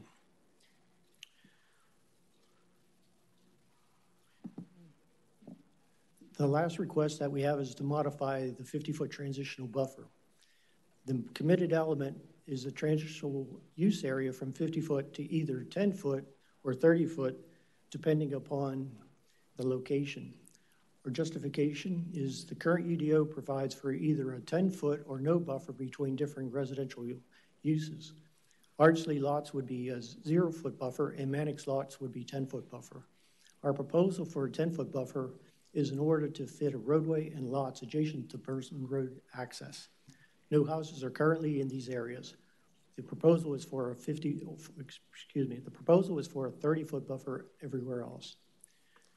This quick graphic shows that in green is where, based on the current UDO, the 10-foot buffer is required, and in yellow is where the R20 zoning or no buffer is required. What we're proposing is on the area from Burton Road up to Ardsley Road to do a 10-foot buffer and everywhere else to do a 30-foot buffer.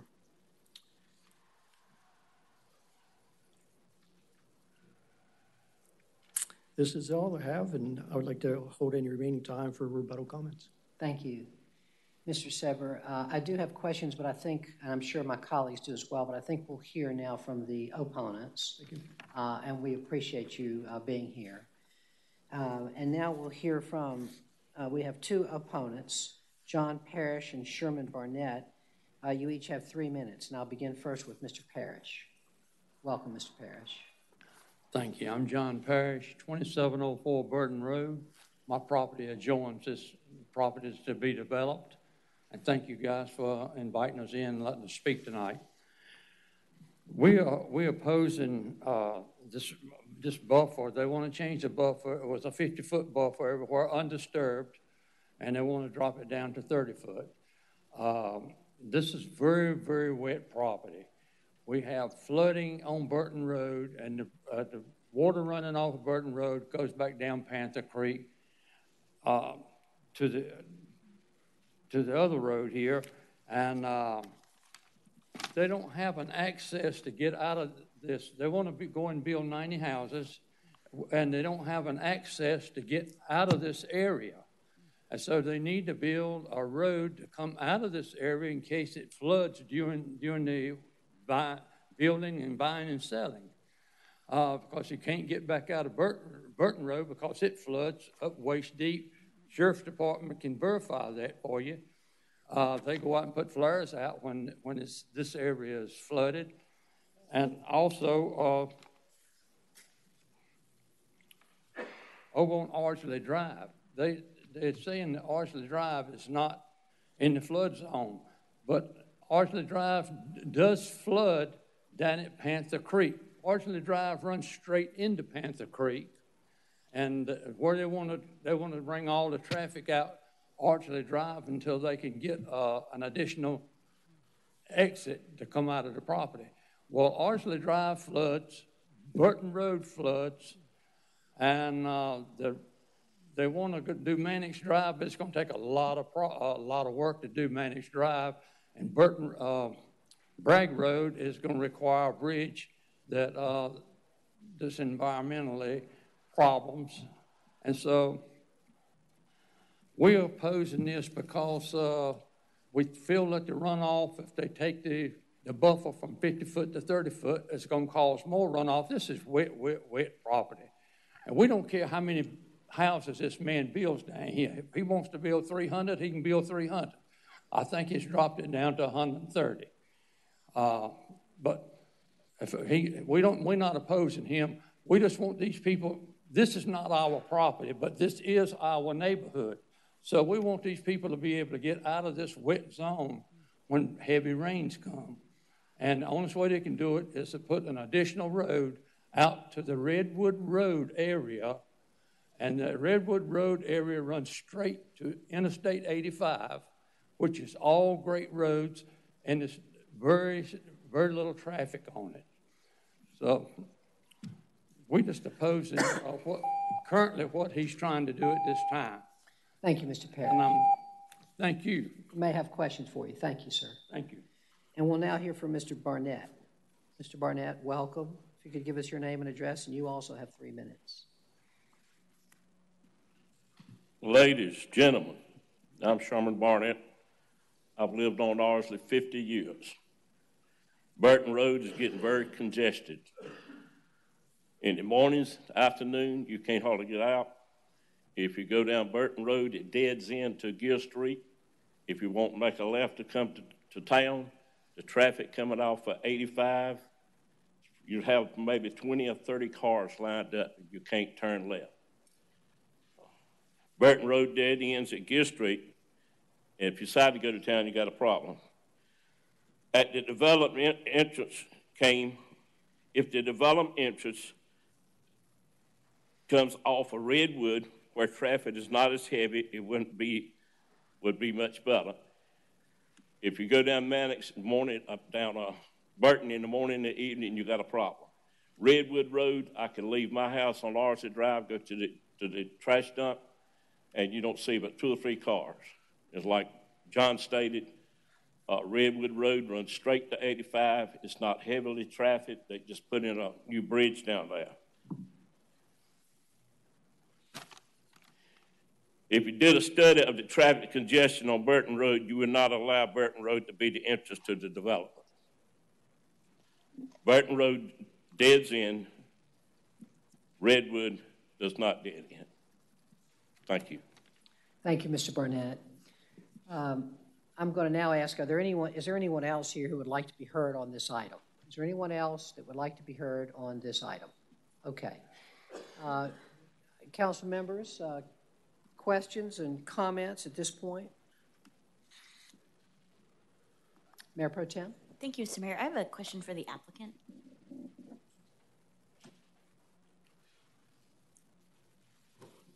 Thank you. Um, so in your presentation, when you gave us um, the justifications for each of your requests, um, the justifications were just that the UDO allows you to do a different thing. But I'm not clear on why or what benefit you're trying to receive by changing these things. Could you elaborate a little bit on that? Um, yes. Can we call up this one slide that I have up? Yeah, we can see, We're we seeing can it see on your ours. slideshow. Yes, sir. Okay, thank you. Yeah. Um, what this is showing is where the floodplains are. And, you know, as the gentleman, cons- he was concerned about Ardsley being flooded. Um, Ardsley Drive is higher than, than um, the Panther Creek is. So that with us making a connection into Ardsley Drive, in the event that Burton Road becomes flooded, then we would have that secondary access to get out. Um, Bragg Road itself, in the development plan, there was a commitment to physically connect in Bragg Road. There are a lot of environmental constraints, mainly a stream that's running in there, that will preclude us from making that particular connection. So with this particular text commitment, uh, text amendment, what we were asking for was the connection into Bragg Road be removed for environmental purposes. It also made a, a commitment to physically connect into Mannix Road. What we wanted to do was just to have the flexibility to connect either to Mannix Road or to Red, Redwood Road, um, depending upon how negotiations would go with those individual property owners. The other thing that we mentioned was with the 50-foot transition buffer, that there is, is, was pointed out and what's kind of shown on this particular slide, a large portion of the site is in environmental constraints, wetlands, and floodplains. Over 35% of the 110 acres is in wetlands or floodplains. So by pro providing a reduction in the buffer from 50 foot down to 30 foot, the 30 foot would still be an undisturbed buffer, but that would just allow us to move the roadways out of either the stream buffer or just move everything a little bit away from the environmentally sensitive areas so all of our lots are, would be outside those, those zones. Okay. Uh, when this was approved originally in 2002, were those environmental concerns discussed? Uh, I, it, it's hard to say because it's back in 2002 and I can't specifically state that. Uh-huh. Um, you know, since then, the there are new stream buffer requirements, you know, the 100 foot stream buffer and other city of Durham requirements that are impacting the site. Okay, so so the current development plan is not in compliance with our updated stream buffer requirements. As best we can, can tell. Um, the, the original plan, this was the level of detail that's on this plan, and it's really difficult to see. Okay. Okay, and you're not prepared to make a commitment about those additional access points? You want to wait and decide at some future point? where those access points would be? Correct. What we would like to propose is that east of Ardsley Road, prior to the 90, 90 um, CO, that we would make a connection either to Mannix or to Redwood Drive.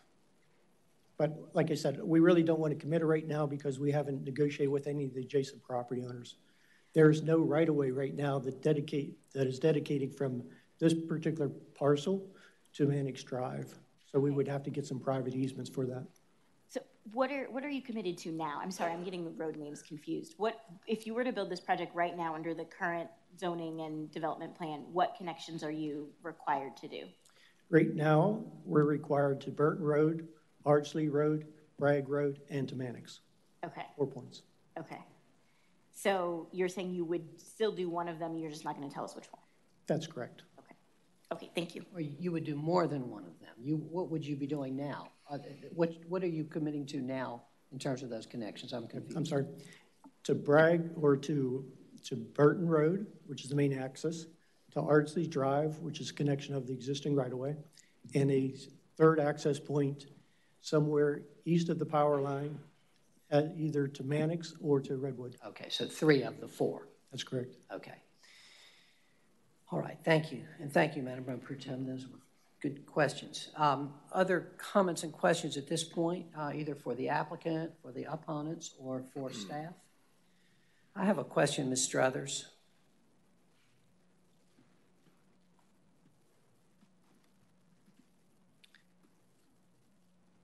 Could you um, characterize for me, I've read the Planning Commission, um, I read the Planning Commission comments, uh, and I wondered, though, if you could characterize for me the, how you would, let's just say, so, so for Mr. Sever, the, it's unusual that we get a 13 to nothing vote at the Planning Commission against a project. Uh, and so I'm trying to understand the, the situation that led to that. Well, hang on, let me just ask Ms. Struthers. I wondered if you would, Ms. Struthers, if you would like to characterize for me what your, uh, how, how do you think that the Planning Commission saw this and what was the kind of underlying problem or problems? My understanding of the um, issues raised by the Planning Commission uh, were concerns related um, to the access uh, as it relates to the environmental um, with a reduced buffer, as well as just kind of the access uh, focused off of Burton, as well as the, they were concerned of the uncertainty of where that uh, third access point would go. Um, I would say those were the main issues. They sort of relate to each other, but are also separate. And what would you say, and from what you heard from uh, Mr. Sever, uh, do you feel like he has solved any of those issues to the, to the, would you say that, that the, that the Planning Commission raised as their important issues? Oh. Are you asking if, um, So with the it seems like he's doing the exact same thing he brought to the Planning Commission vis-à-vis the access points. So yes, so access points have not changed. Um, I guess a clarification on um, the connection for Mannix, as shown on the um, the old the existing development plan. There's not a right of way that they can directly connect to along Mannix, um, and so there is certainly that uncertainty between would they connect to Mannix or would they connect to Redwood because of um, needing to sort those things out. How about the buffer? Uh, so it sounds like he's proffering uh, 10 or 30, depending on the location of a buffer, as opposed to none, um, versus the previously approved 50 feet. Yeah. And so, but you have no sense of the Planning Commission's thoughts about the size of the buffer and that sort of thing? Uh, we didn't discuss the size of the buffer at that time. Okay, thank you. Mr. Sever, um, so talk to me about this vote at the Planning Commission, and, and uh, I noticed you were anxious to do so, so maybe. Yeah, at the uh, Planning Commission meeting, we didn't have any graphics at all. And what had happened was they were just talking, it's very confusing without seeing the overall plan for the development plan, where Bragg Road was, where Mannix Road was. So that, you know, we were trying to explain to them, but without an actual graphic, they wouldn't be able to see it. Um, When we prepared this presentation this evening, we had worked with staff to say that, you know, this is graphics only. We're not making any commitments to this because if we're making a, a commitment to this, then we had to go through a different procedure than just a text amendment. So what we try to do is just to clarify everything that shows, okay, we understand what this, what the city wants, and we talked with the transportation department, and they were fine with what we're, what we're proposing here, but it's just a matter of getting the text cleaned up from this particular development plan to allow us to do what we would like. So uh, I'm going to ask uh, the opponents, uh, I'm going to ask Mr. Parrish and Mr. Barnett if y'all could come back for a minute. I'm going to read you a comment from one of our planning commissioners, uh, Tom Miller. I encourage the city council to either deny this rezoning request or to postpone it so the developer can work with the neighbors and with his planners and engineers to create a new development plan that provides better detail on how the connections, whether they ultimately be three or four, will work. Such a plan could show some of the buffer area might be redeployed to make the project's Burton Road connection flood-proof and how some of the buffer area might be retained to diminish the neighbors' anxiety about the project. So I just would like a comment from you, Mr. Parrish. I heard you say you weren't opposed to the housing, but your concern is about the access, the egress, and the flooding. Yes, sir. And there's, and there's not four exits to that thing. They're telling you Bragg Road, Mannix Road, Ardsley Drive, and Burton Road. That's, that's not, a, all those are not an option. Burton Road floods. Ardsley Drive at the end of Ardsley Drive floods. Uh, Mannix Road is, is, they make they making use that. Bragg Road, they got to build a bridge on that to use that, and, and it's an environmental problem, and that's out. Mm-hmm. So I mean, they're misleading you a little bit here. So I'm trying to tell you exactly what I know, but they can't use Bragg Road, but they can use the Mannix Road. So that would be the outlet, the only outlet that these people would have in a heavy rain or storm, hurricane, or anything like that uh, these people would only have one outlet to get out of this division, and that would be the Mannix Road. It, and that's going to take a lot of improvement to, uh, to upgrade that to where it can be used. Okay. Mr. Barnett, could you comment? Um, you, you've heard the developer. Uh, I, I want to just get your sense of Mr. Parrish said he's not opposed to this development. His problem is with the uh, with the with the access, the egress, the flooding, and so forth. Is that also your position? Right. Uh, now Burton Road, if y'all would go out and look at it and they would do some study, uh, Burton Road is getting congested to start with. And coming off of 85, you can go down Burton Road, you're dead in. You got traffic come off 85, sometimes it's 20 cars lined up. And if you decide to go to Durham, you stand, you'll set 10, 15 minutes. Now, checking out Redwood Road, I'll take the garbage off about once a week. You won't meet three cars. If, if it was coming off of Redwood Road, I don't think they'd have a problem. They might have to spend some more money. But they stop that many cars on it, and then Redwood goes right straight to 85. That's not a dead end. Our problem is uh, Burton Road. If this happens and it comes out on Burton Road and all, you're going to have a big mess. All right, thank you. It's not against building a house. It's the mess you get in. I appreciate And if you do some studies like that, you would, you'd see something. Thank you. I Thank just you. wanted to be clear on that. Thank you. Maybe Mr. Judge?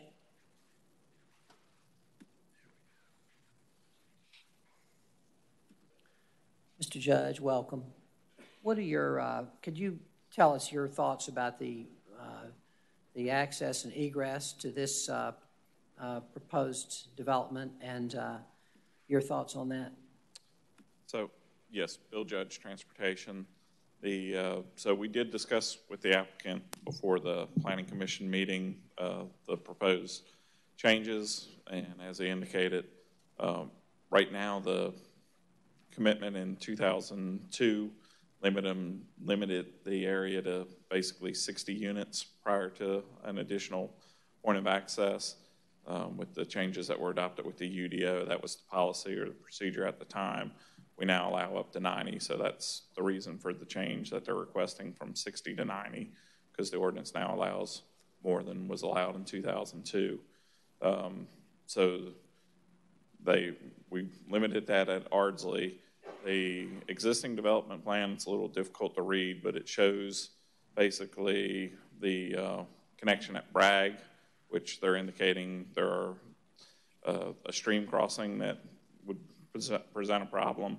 And the stream's actually, I believe, just off the site where the crossing is. The existing Bragg is, doesn't stub to the property. They would have to build a portion of Bragg off-site on the adjacent property within the existing right-of-way, get that stream crossing, provide that, that point. So that, that's where the applicant has indicated that um, they don't believe that connection is feasible.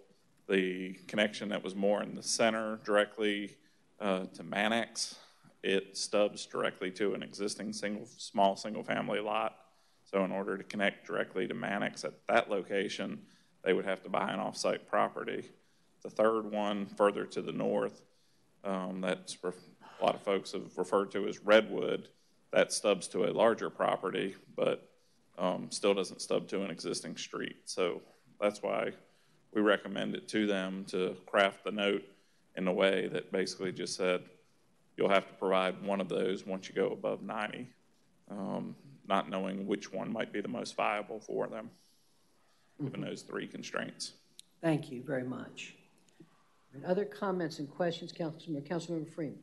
Uh, yes, the question would be for staff specifically around um, what would happen if the development was, the development moved forward and the street that was mentioned that's higher than, I think it was Ardmore.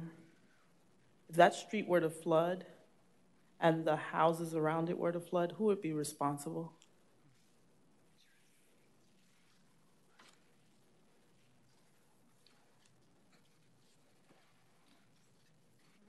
Comes the cavalry. Mr. Judge may have to help me with this. This is Pat Young with the Planning Department. Thank you for your question, Councilmember Freeman. Um, Burton Road is an NCDOT road. Uh, Ardsley Drive is um, also, to the best of our uh, knowledge, an NCDOT road. Tonight is the first time we're hearing about flooding on Ardsley Road. We have no information or evidence, certainly not questioning the speaker, but it, our best assessment is that Ardsley Road would be accessible from the subject site if there were high, if there was high water on Burton. Um, the, and, and so any improvements or modifications to either Ardsley or Burton would be responsibility of DOT. And how successful are we at getting DOT to alleviate that flooding?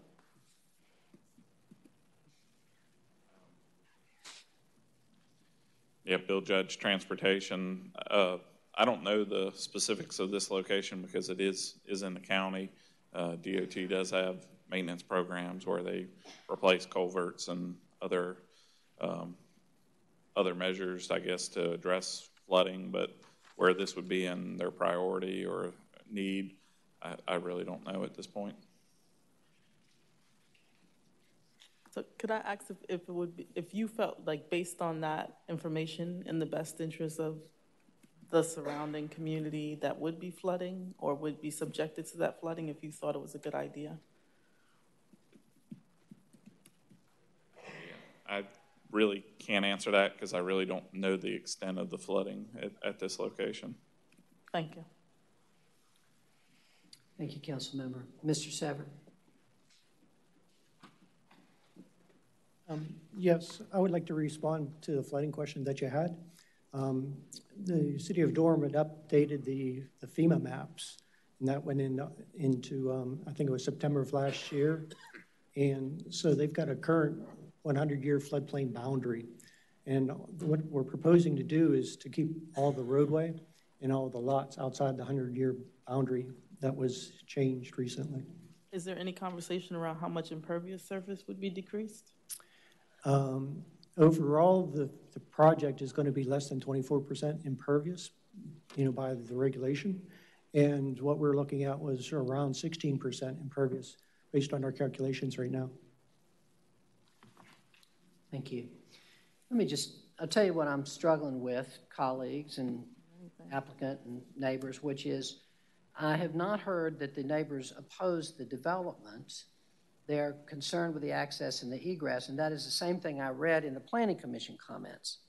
Uh, and I, I tell you that I don't feel right now, my- personally, and my colleagues may differ, uh, equipped to make a wise decision about this if, if there's the potential for something to be worked out where the development can go forward, but the access and egress problems can be solved. And, and I will tell you, I don't, I think this, to me, this is a uh, much more of a planning commission kind of uh, decision and uh, uh, something that they need to advise us on.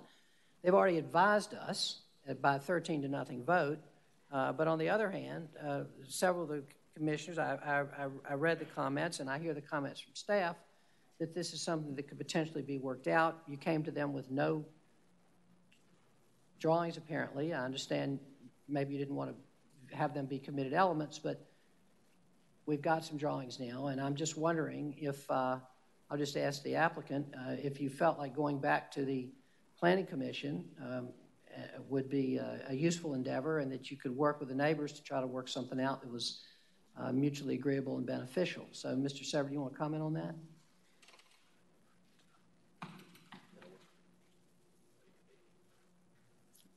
Um, we would respectfully decline. We would just really like to vote on it now. Okay. Thank you. Thank you. And I'll finally, my final question is for staff, and then I'll get you, Councilmember Middleton, um, which is just uh, Ms. Struthers. So if we don't uh, approve these changes, then what would be, what was the, what's the, what are the rights of the applicant uh, existing on the property now? Uh, they would be able to develop as uh, the existing development plan indicates. And why don't you describe a little the few of the features of that for me? Uh, sure. So those text commitments uh, listed on the cover sheet are the um, the primary elements of the, the, development plan that are committed. Um, so the design elements as well as the general site notes. Um, so their maximum units have been set. Um, those connections, uh, as they have indicated, um, those would be required uh, tied to the 60 uh, building permits. Um, and then same thing with the uh, the transitional use area would uh, remain as uh, initially shown. Okay, thank you very much. All right, Councilmember Middleton. I'll withdraw the request, Mr. Mayor. Okay. Any other questions or comments at this point? Anybody, anyone else like to be heard on this item? All righty, I'm going to now declare this public hearing closed, and the matter is back before the council. Let me find the item in a second here. Mr. Mayor. Councilmember Reece. I am happy to uh, make a motion to adopt a consistency statement as required by statute for the purposes of making a motion on that matter.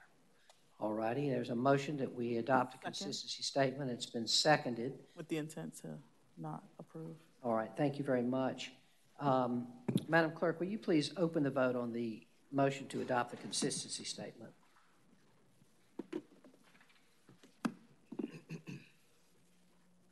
Close the vote. The motion fails five to one, with Councilmember Middleton voting in favor. Thank you. And now we'll have motion two to adopt an ordinance amending the UDO. I'll make that motion, Mr. Mayor. Second. It's been moved and seconded that we adopt the ordinance amending the UDO. Uh, Madam Clerk, will you please open the vote? And please close the vote. The motion fails 6 0. Thank you very much. Thank you all. Thank you for being here. Thank all of you all. All righty, we'll now move to item 24, consolidated annexation, annexation item, Ellis Road, uh, Phase 3.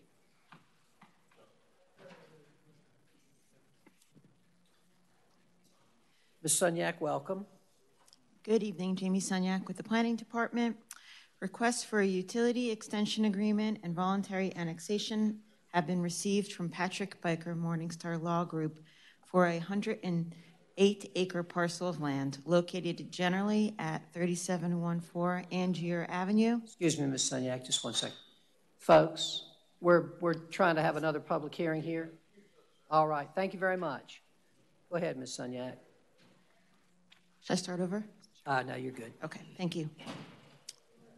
The annexation is for a contiguous expansion of uh, city limits. However, there will be a 17-acre donut hall created to the west. Approval of the annexation petition and zoning would become effective on March 31st, 2019. In addition, the applicant has applied for a future land use map amendment for 137 acres of land from industrial to low-density residential and a zoning map change from rural residential and industrial light to planned development residential 3.575 for 100, and, 100 acres with an associated development plan which would allow up to 350 residential units. Map 1B in the staff report depicts the locations of each of these different applications. Key commitments include limiting the number of residential units, limiting the impervious surface to 70%, various transportation improvements as identified by NCDOT and DDOT in accordance with the uh, TIA. The Durham Planning Commission at their January 8, 2019 meeting recommended approval of the proposed by a vote of 12 to 1. Staff recommends approval of the um, extensions of the utility with the annexation because the project is deemed revenue positive by the Budget uh, Management Service Department, and there have been no operational impacts identified with providing services. The Public Works and Water Management Departments have determined that the existing water mains have the capacity for the proposed development. Staff recommends that these um, requests are consistent with the comprehensive plan and applicable policies and ordinances. Four motions are required for this application.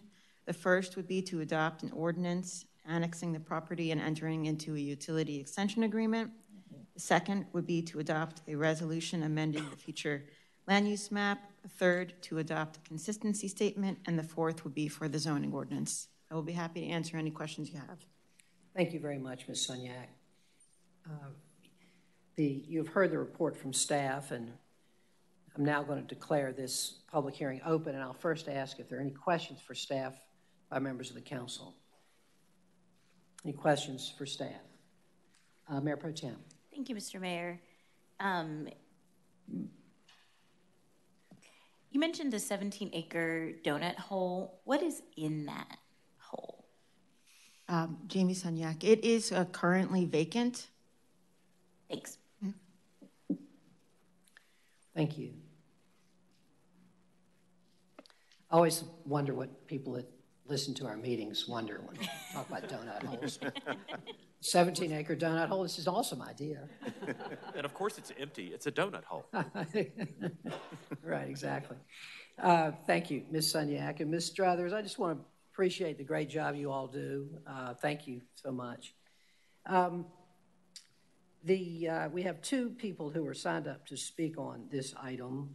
One is Mr. Patrick Byker, and the other is Ms. Teresa Jones. Both are proponents. Is there anyone else who would like to speak on item 24? Is anyone else here tonight who would like to speak on item 24? All righty. Uh, Mr. Byker, uh, I'm going to give you and Ms. Jones together six minutes, uh, and uh, if more than that is needed, uh, we can discuss it won't be necessary. Good evening, Mayor Schewel, Mayor Pro Tem Johnson, members of the City Council. My name is Patrick Byker. I'm with Morningstar Law Group. I live at 2614 Stewart Drive. I'm here tonight representing Ellis Road WEHLP for Ellis Road Phase 3. Along with me tonight are Ryan Akers and Stephen Dorn of McAdams, our site design and engineering firm, Reinald Stevenson of Ramey Kemp, our traffic engineer, and Eric Rifkin, Assistant Vice President for Ellis Road WEH. This agenda item that's before you tonight represents the last 100 acre phase of a master plan development that consists of commercial, apartments, townhouses, and single family homes, all within a new 350 acre neighborhood for Durham. The apartments along Ellis Road are built and fully leased up. The commercial sites are ready to go, and the other residential sections are approved and moving forward with construction. It is important to note that this Ellis Road neighborhood today is providing quality housing affordable for what is sometimes referred to as the missing middle, as the townhouses here are priced starting at $220,000 and the single family homes are priced starting at $280,000. Phase three will allow us to continue our strong efforts to expand the housing supply for this important market segment. And what really makes Phase 3 important for Durham's growth, in addition to the overall neighborhood, is its central location with convenient commutes to downtown, Duke, and RTP. Since about 20 people move to Durham every day, it is imperative to keep our housing supply increasing especially when, as is the case here, we are creating workforce housing that is located near our core employment centers. This development checks that box and is a very positive achievement for Durham. Last of all, I want to thank Jamie for an outstanding staff report on this item, and we respectfully ask for your approval. Our team will be happy to answer any questions you may have, and we thank you for your time tonight. Thank you very much, Mr. Byker. And now we will hear from Teresa Jones. And Ms. Jones, you have three minutes. Is that sufficient? Yes, sir. Thank you. Thank you, Mr. Mayor and uh, City Council. My name is Teresa Insco Jones. Um, I live currently at 1010 East Oak Drive, um, but my home that I grew up in is on the corner of Glover Road and the access that this development is supposed to put out to, onto Glover Road. Um, my parents built a house there in 1965, and it is a road beside it, but it had been an undeveloped road since they built the home until now. So it just went to their back door, to the most part, the back of their lot, and that's where the road ended. So it really became a driveway.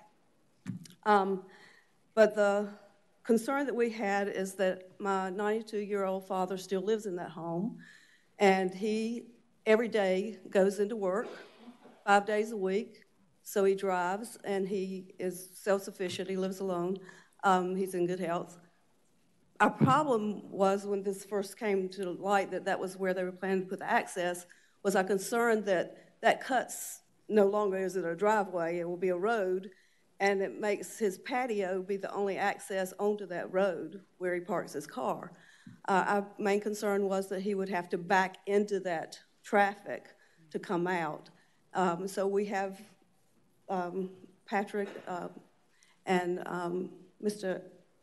Uh, Ryan, what's his last name? Anyway, uh, they have met with us on several occasions about our concerns of his safety uh, in that situation. And um, we have talked about, um, they've given us the diagram of the, uh, le- the landscaping that they're going to do in that area, which is very beautiful, but the main concern was at the driveway. Um, so we have con- talked to them about, and, and they have agreed to uh, putting in a s- half circle drive so he can pull out frontwards and not back into that area. So with that concern, um, we, we no longer have any concerns for his safety. We are in support of the project as they have outlined it to us, and uh, we are very thankful for the many times that they have met with us. And I just wanted the council to know that. Thank you very much, Ms. Jones. I appreciate you coming down to say that. Uh, is there anyone else that would like to be heard on item 24? Anyone else that would like to be heard on item 24? All righty, I'm now going to ask if there are any questions or comments by members of the council. Just, just one comment. Councilmember Freeman. It has taken us so long to get to this point where you actually talk to the neighbors and figure out what might be the issue. And I really appreciate Morningstar Law Group moving ahead with that process and making sure to, to note what the main issue was and not being the development, but access to a driveway that, you know, it, it just makes such sense. I'm so thankful. Well, I, I figured out a while ago, there's a reason why we have two of these and one of these. Got that down. Thank you. Thank you, council member. Any other questions or comments? Uh, Councilmember Reece. Thank you, Mr. Mayor. Um, I want to thank the applicant for um, going through this process in a way that was respectful of the concerns of the folks that live nearby. I also want to th- thank staff for their hard work in getting this to us. I also want to call out uh, two of our planning commissioners for what I thought were just truly extraordinary comments. Uh, first, the one that uh, I um, that really rang a lot of bells with me, and second, the one that I'm ultimately going to vote in accord with. Uh, the first is uh, Commissioner Baker, who wrote, I thought, a good um, warning for us as a council and as a city about where we're going and the kinds of things we need to keep in mind as we move forward. Um, he called out the fact that this uh, rezoning would tear down 100 acres of forest for building 350 single family units, and this at a time uh, when our planning commission is considering uh, a proposal that would, in many parts of our city, uh, free up developers to build lots of different kinds of housing um, of different types of densities to meet the needs of our growing city. Um, Commissioner Baker called it sprawl, which I think, uh, for the reasons that, uh, excuse me, Commissioner Miller uh, indicated, is probably not necessarily that accurate. But I truly respect having that voice on our planning commission who will uh, tell us that version of our story uh, so that we can uh, pay attention to it and keep it in mind as we go forward. Having said that, um, I thought Commissioner Miller had the better of the argument in this particular situation. Um, most intriguing was his last paragraph, which I have to admit I'd never fully considered the implications of what's happening at RTP, or what he referred to as RTP City or even RTPville in his comments, which I thought was interesting. Um, the fact is, uh, RTP will uh, soon begin to look uh, very, very different than it does now and will need to accommodate uh, all sorts of residential development, both within it and uh, around its borders. And this particular project is uh, well positioned, and in fact, I suspect um, intentionally positioned to uh, to give that kind of residential option uh, to those folks. Um, and uh, for that reason, and because um, the proposed zoning designation is much more amenable than the uh, than the one where we're at now. I'm, uh, I intend to vote for the measure. Thank you, Mr. Mayor. Thank you very much. Uh, I'll just say that I had uh, appreciate their, that your comments, uh, Councilmember Reece. I had uh, written in my notes as well, particularly interesting comments by two planning commissioners, and was planning to cite some of those, which you did, and I appreciate it. I thought they were exceptionally thoughtful uh, and interesting, and and and uh, not opposed to each other, but took a different position on this on this item. I guess I would just say that I was particularly interested in uh, Nate Baker's comments about uh, the you know as we think about the uh, the UDO. Uh, the, the, this mix of housing types that he discusses, and there are other other uh, aspects of the development that he discusses, not just of this development, but of the kind of development that we want in general, that I thought was really excellent and I'm sure our uh, planning staff is thinking about these things. Um, and I also agree that what, what you said about Tom Miller's comments about RTPville, and what I noticed, noticed that note that he also said something very important about it, which it's uh, that, that it is tax privileged. Uh, that is to say, we aren't able to annex it if it's inside the RTP area by state law. Uh, and it's going to be very interesting to see what challenges this uh, creates for us in the future, as well as opportunities. Uh, Mr. Byker, uh, I note that this development is adding 86 children to Durham Public Schools, and as you know, it's often customary for our developers to uh, consider proffers of $500 per child to uh, our Durham Public Schools. I wondered if, you uh, if you all had, if your considered that. Yes, Mayor. Uh, thank you for asking. Uh, this development is uh, definitely targeted to attract families with children uh, to the single-family homes and to create the recreational amenities. And so uh, our team would like to proffer uh, a donation to Durham Public Schools in the amount of, if I have the math right, $43,000 based on $500 per new student. So I'll wordsmith that and get it to the planning department in the morning. We appreciate that.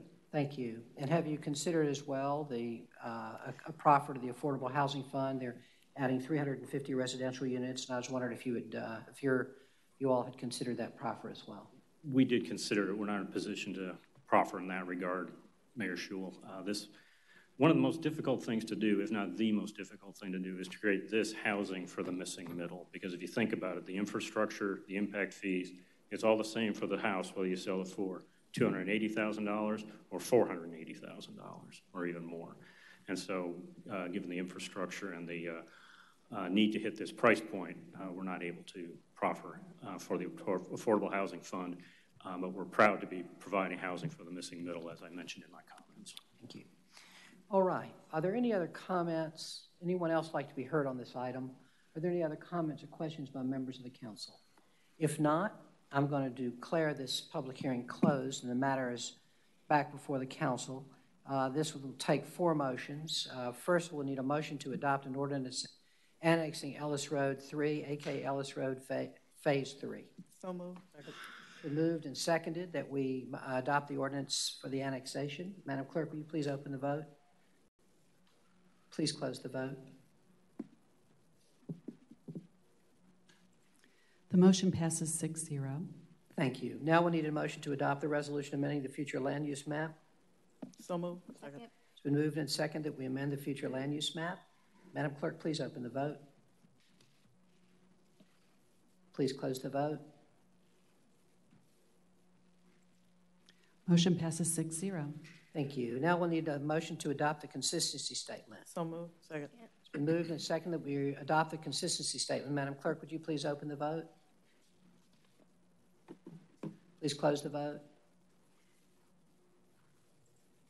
Motion passes 6-0. Thank you. And finally, we need a motion to adopt the ordinance amending the UDO. So moved. Second. Been moved and seconded that we adopt the UDO. Madam Clerk, will you please open the vote? And please close the vote. And the motion passes 6-0. Great, thank you. Thank you very much for being here, uh, and um, we look forward to a good development.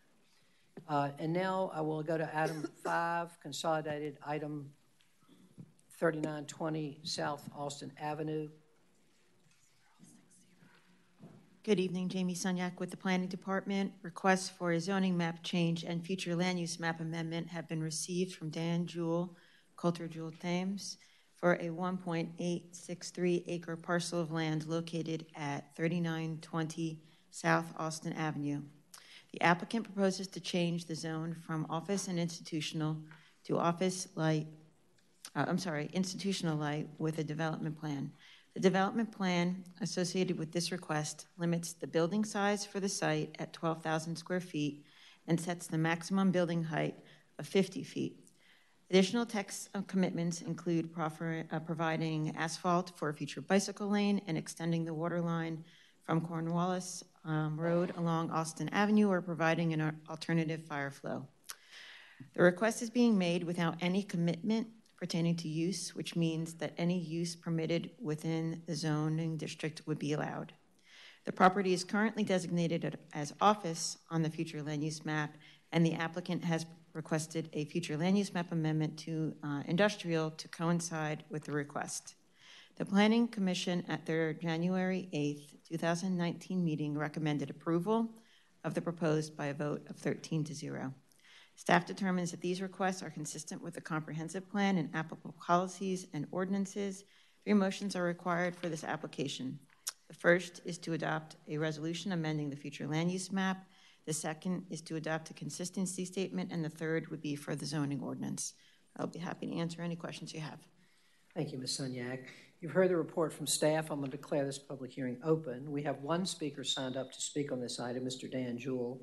Is there anyone else who would like to speak on item 25? If not, Mr. Jewell, welcome. Uh, Would three minutes be sufficient? Yes, it will, sir. Good evening, Mayor, members of the council. I am Dan Jewell with Coulter Jewell Thames, 111 Main Street, uh, West Main. I'm here at the request of uh, our client, Peter Piercini. He's president and CEO of ZenBio. Just to tell you a little bit, this building was built only about 10 years ago as the Elks Lodge of South Durham. Uh, It opened 10 years ago, and it closed about three years ago.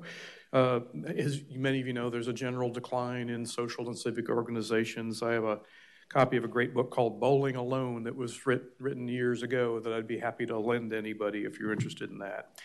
This rezoning will allow our client, who's already based in Durham, to, to repurpose this existing building of about 7,200 square feet. Uh, they assemble lab kits for use in uh, research, just like when you go to the doctor's office, there's a suture kit or uh, something uh, kit already made up. They do that for research. In fact, my wife, who works at NIEHS, says, "Oh yeah, we have kits from ZenBio to do these." Uh, experiments that we do, that sort of thing. Um, there's an existing industrial character in this neighborhood. If you've been out there, actually much more in keeping with uh, the Elks Lodge that, that had been, been built there, primarily warehouses and small manufacturing facilities. There's two existing uh, old farmhouses immediately south. They're owned by the Ship and Madron families, And we held a neighborhood meeting just about a year ago. They attended, and they had no questions whatsoever about when were we going to start and, uh, and how quickly we were going to move ahead. Uh, we've proposed a modest increase in the existing floor area with the hope that uh, ZenBio will continue to be uh, successful and be able to expand some point in the near future. But for the time being, he just wants to occupy the building uh, as is. We are committing, committing to widening Alston Avenue along the frontage to accommodate a future bike lane. And uh, where the existing parking encroaches into the landscape buffer, we're committing to beef that buffer up for now, put some more plants in, and of course, if the site is redeveloped in the future, uh, we would remove all that paving and put things in per uh, city UDO standards. Uh, the staff finds consistency with our request, and the Planning Commission voted 13-0 in favor of this request back in January, and we would hope that um, you would you would find the opportunity to do the same. So thank you, and I'm happy to answer any questions you might have. Thank you, Mr. Jewell. Council members, any questions or comments for Mr. Jewell or for staff at this point? Any questions or comments for Mr. Jewell or for staff? Is there anyone else that would like to be heard on item 25? If not, I'm going to declare this public hearing closed and the matter is back before the council. Uh, we will take two motion, three motions uh, on this item. The first is to adopt a resolution amending the future land use map. So moved. Been moved and seconded that we adopt the amended future land use map. Madam Clerk, will you please open the vote? Please close the vote. The motion passes 6-0. Thank you. Uh, we'll now need a motion to adopt a consistency statement. So moved. Second. It's Been moved that we adopt a consistency statement. Madam Clerk, please open the vote. Please close the vote. Motion passes 6-0. And third, to adopt an ordinance amending the UDO. So moved. Second. Been moved and seconded that we am- adopt the motion, adopt the ordinance amending the UDO. Madam Clerk, please open the vote. And please close the vote. Thank you. The motion passes 6-0. Thank you very much. Thank you, Mr. Jewell. And now we'll move to item 26, Consolidated Annexation 301 Atkins Heights Boulevard. Uh, and uh, we'll now hear the report from staff.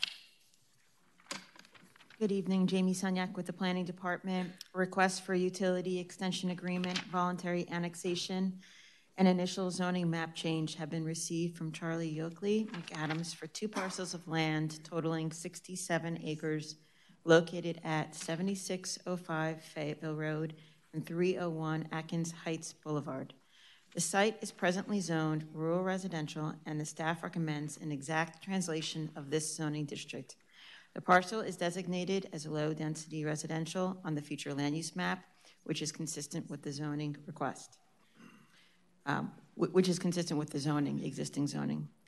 While this annexation is for a contiguous expansion of the city limits, it will create a donut hole to the north and south.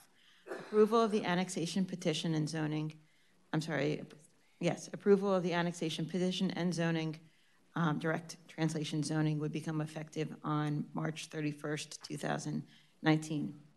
The proposed annexation includes the creation of a new road connecting the properties to Fayetteville Road, which is consistent with an associated site plan that is currently under review. Staff recommends approval of the annexation because the project is deemed revenue positive by the Budget Management Services Department, and there have been no operational impacts identified with um, the providing services. The Public Works and Water Management Departments have determined that the existing water mains have the capacity for the proposed development. Staff determines that these requests are consistent with the comprehensive plan and applicable policies and ordinances. Three motions are required for this application. The first is to adopt an ordinance annexing the property and entering into a uh, utility extension agreement. The second is to adopt a consistency statement, and the third would be for the zoning ordinance. I'll be happy to any, answer any questions you have. Thank you, Ms. Sunyak. Yes, sir, City Manager. Ms. Sunyak, could you clarify the, the map? I'm not quite sure. We talk about creating the additional donut hole. It appears that of the new road that's going to be created, that there's a, is, is that correct, that there's a, a section that would be what, south of there that would be unincorporated? That's correct. If you look at attachment 1A, which is the annexation overview, The right-of-way, um, which the, the new road extends um, out from the development site to Fayetteville Road, and there's two parcels that are shown in white south of the right-of-way, and those would be unincorporated. And so it's not, it's not splitting up a property? The, the new road is not splitting that property? That, uh, it's not splitting those properties. There would be a property to the north that would, But that's a, a differently owned property? correct. And then will there be utilities in that road that's being extended? That is, that is my understanding. So will the properties to the south be allowed to connect to those utilities? Not without annexation. Thank you. I don't believe I've opened the public hearing yet, but I'm going to now open the public hearing. And um, I'm going to ask if there are any other questions for staff. Any council, any colleagues have any questions for staff at this point? All righty. If not, uh, we have several speakers on this item. Um, We have uh, one,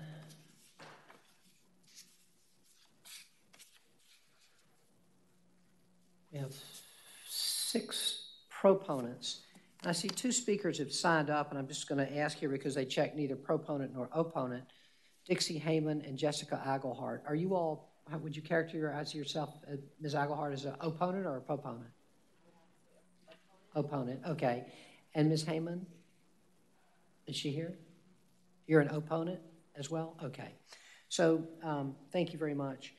Uh, Mr. Ghosh, I'm assuming you're going to lead off uh, for the uh, proponents. Uh, is that correct?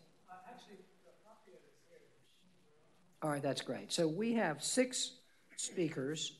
I'm going to give the uh, proponents a total of 12 minutes. So I'm going to ask each of the proponents if you could limit yourself to two minutes. Sorry. And that means that Ms. Aglehart uh, and Ms. Hayman, you all together also have 12 minutes. Let me just say for sure that you don't have to take that long, but you can certainly, uh, you will certainly have that right. That arrow there. I just changed So, yeah, click it over. All right, so Madam Clerk, just to be clear, uh, we have 12 minutes for the proponents and 12 minutes for the opponents. Thank you very much. All right, thank you. My name is Sarah Shigaris. My current address is 2518 Levi Lane. Um, I'm here as the legal representative of the Higher Family Trust due to my parents' recent passing away. Sorry to hear that. The Higher Trust has chosen a developer that is sensitive to the land, sensitive to the neighbors, and sensitive to the larger community. The EPCON Communities Plan that we are presenting for your approval is for an age-targeted community that includes a dedicated access via Fayetteville Road, and it also includes preserved open spaces. The proposed community will have as its dedicated entrance a connection to Fayetteville Road that takes all of our neighbors into consideration, those of the Oak Haven neighborhood and those on Fayetteville Road. Age-targeted communities generate significantly less traffic, with EPCON reporting one half of average traffic impact. This type of community also contributes to the tax base without any significant increase in use of public schools. Thank you for your time, and if there's any questions. Thank you very much, Ms. Shigaris. Uh, Mr. Ghosh? Mr. Ghosh, I'm reading a novel. My, my favorite novelist these days is a novelist named Amitav Ghosh. Are you familiar with him? I'm not. Well, he, reads, he writes wonderful novels about the 19th century uh, opium trade between uh, India and China, and I recommend them to you. The opium or the book? Mr. Ghosh, you know better than that. I apologize. Fair enough. My name is Neil Ghosh. I'm an attorney with the Morningstar Law Group, and I'm here tonight representing EPCON Communities uh, in relation to their support for this annexation application. Uh, you've just heard from Ms. Shigaris, who is the representative of the trust that own this property. Some of you, maybe three of you, uh, might recognize her from uh, an application in 2017 uh, for annexation of this very same property. And at that time, when she first applied for that, her mother was alive and her father was alive. Her mother unfortunately passed before that hearing, and her father recently passed. Uh, but ultimately, uh, you, know, while they were alive, they were trying to sell this property, uh, and unfortunately, her parents won't be able to reap the benefits of, of that. But uh, meanwhile, Sarah has taken the feedback that you all gave her at that hearing uh, to heart and has sought out, as she told you, a developer that she felt and her family felt would uh, uh, address the concerns raised at that hearing. Uh, one of the main concerns and one of the main differences of this project as compared to that one is that this project has an, a point of access out to Fayetteville Road, uh, which was a very important point uh, that was made at the 2017 hearing. Now, to be honest with you, uh, Epcon Communities, my client, they when they looked at this property, they actually were not interested in this property unless and until they were able to confirm that they would be able to get an access out to Fayetteville Road. To them, that is the most important access point for this property. Uh, and so they spent a lot of time trying to do that. You all are probably aware there's a road out there called Atkin Heights Boulevard. Uh, calling it a road is generous. It's, it's kind of a dirt pathway. Uh, and it is not up to city standards. And it's also not in a very good location. And so EPCON has taken time to study that and see if there's a better way that they can make that. There's a stream crossing there. So they looked to see if there was a better way they could make that crossing. And in doing that, they became friends with the good, uh, the New Hope Church, because what they determined was that there was a, a better place to uh, make the stream crossing. It would be, it would be have less environmental impacts, uh, and that's basically by shifting the, that existing Atkin Heights Boulevard up about 200 feet. But in order to do that, uh, we have to get friendly with the with the folks at the New Hope Church. Now, some of you all received an email, or probably all of you all uh, received an email from the New Hope Church today um, about their support for this project. And, and we're very proud of that. We've worked very hard with them to try to make this a, a good situation for them and for us as well. Uh, and also so that there's less environmental impacts at that stream crossing. And so we're happy to have their support.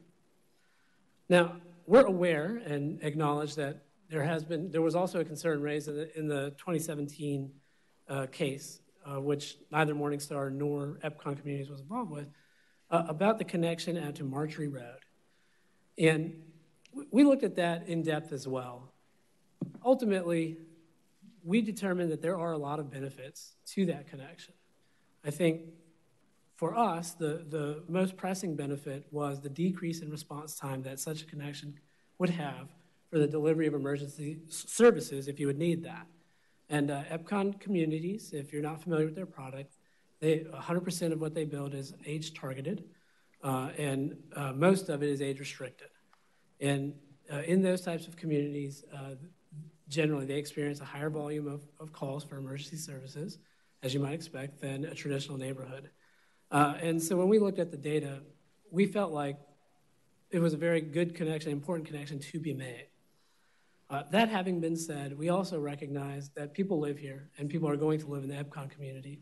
And providing a connection between Fayetteville and Herndon Road, uh, while it does decrease service uh, response time, it also could provide as a cut through. And we want it to be we want to be very careful in how we plan that.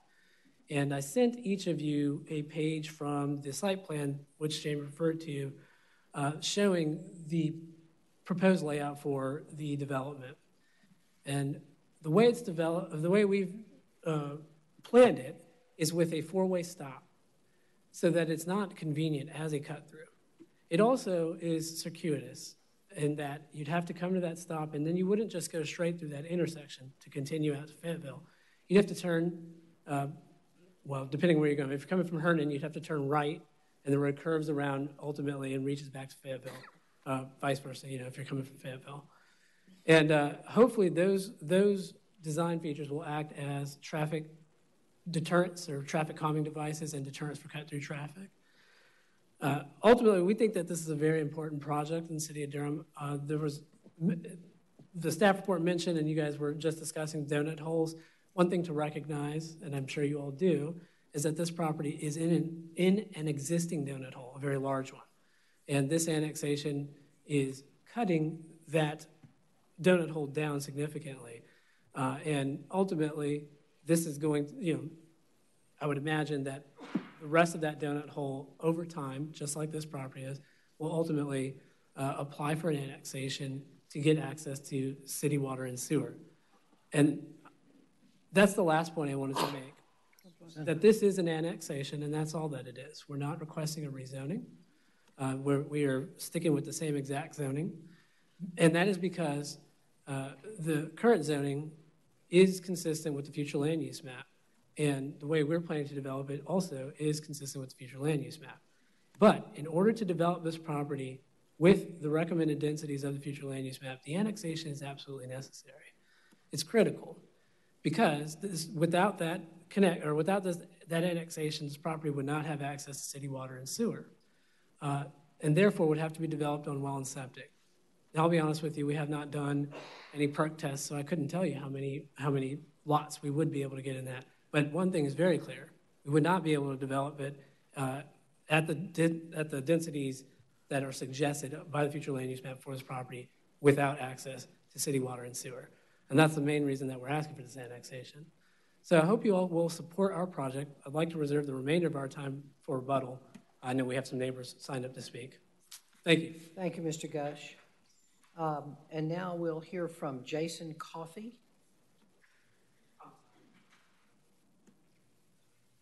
Yeah, there was a number of other individuals who signed up. Jason Coffey, I think he is a representative with EPCON Communities. We also had okay. the folks from McAdams who are the engineering firm for this project. They also signed up. So I'd like to reserve all of that time. Okay, so let me just make sure, Mr. Ghosh, that those there are no ones here who'd like to speak who signed up. Absolutely. Uh, Ryan Akers. Um, Stephen Dorn. William Harris.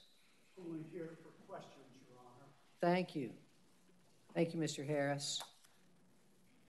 And then, uh, okay, so that's it for the proponents, and you have, can reserve the rest of your time, Mr. Ghosh. And now we'll hear from the opponents, uh, and we'll start with Dixie Heyman, and then we'll uh, go with uh, Jessica Aglehart. Ms. Heyman, welcome. Oh, I'm sorry. My, my fault. I, okay, I, I, I misheard you. I apologize. That's all right. You, you can go ahead and speak. And uh, Yes, um, my name is Dixie Heyman. Um, I have a house at 5201 Shagbark Drive in Durham. Uh, I'm a real estate agent. I work for Keller Williams Realty, and I'm in support of this development um, on Atkins Heights uh, near South Point for the mature agent community.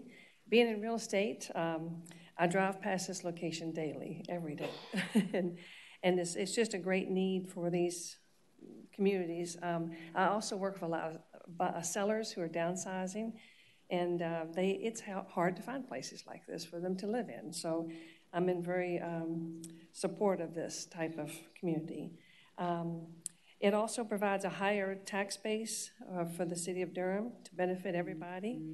It's less traffic uh, than your large communities that have lots of kids. Um, and also, um, the location is everything. It is close to medical facilities, uh, it's close to shopping, and, and, and it's also set off the road, so it's, it's going to be private and sort of secluded for people you know, who live there. And I just want to ask that you approve this tonight. Thank you. Thank you very much. And now we'll hear from Ms. Jessica Aglehart. Ms. Aglehart, welcome. You have 12 minutes. Thank you. I hope, hopefully I don't need that long.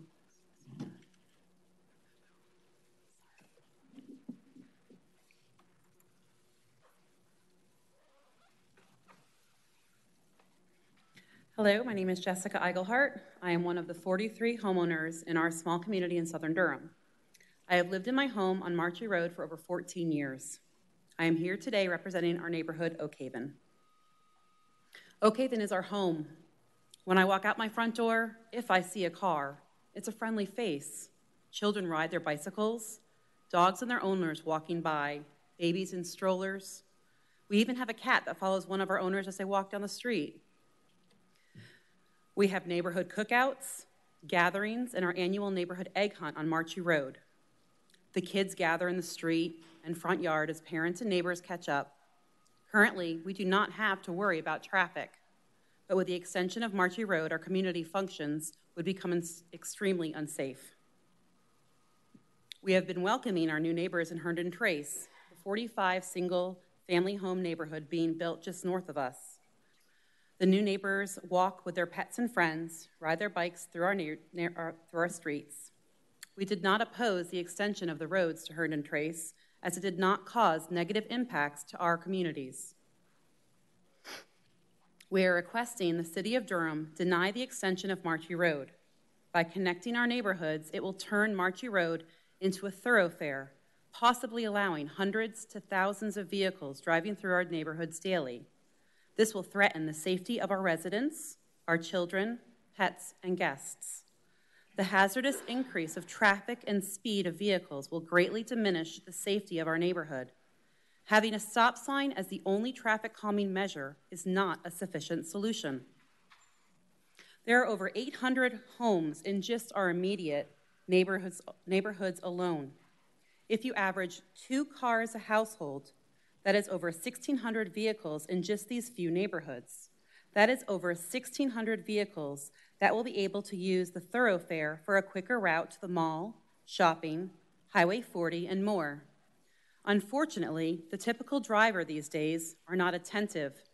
They speed, text, talk on the phone, which is extremely dangerous and can result in tra tragic accidents. The width of our roads cannot accommodate the increase of traffic. Here you can see this blue truck is parked against the curb, but the garbage truck still could not get up the street. He had to ask the homeowner to move their pail so he could get up the road. Emergency vehicles already have challenges maneuvering through our neighborhood. Our streets are 22 feet back to back. Emergency vehicles should have an unobstructed width of no less than 20 feet. A fire engine is more than eight feet wide. In response to what, um, sorry, Neil, I forget your last name, I apologize, said to the emergency vehicles, the benefit for connecting our roads, I did a quick Google map search, and the difference from Parkwood Fire Department is 3.1 miles from their fire department to the entrance of the neighborhood they're looking to build compared to 2.8 miles, which would be going through our streets to get to the end of Marchie Road, which wouldn't get into there, so it'd be a little longer than that. The width of our roads cannot handle the immense increase of vehicles by extending Marchie Road. The condition of our roads are in need of maintenance, repair, and repaving as they currently exist. Adding a thoroughfare will greatly increase the need for more frequent repairs and repaving. We, the residents of Oak Haven, are not asking to stop the annexation of EPCON properties. We are asking the City of Durham to deny connecting the stub at the end of Marchie Road. Durham Walk's pedestrian plan states the city conducts and implements several traffic calming studies each year that analyze and recommend appropriate treatment to slow vehicles and discourage high cut through traffic volumes of cars and trucks.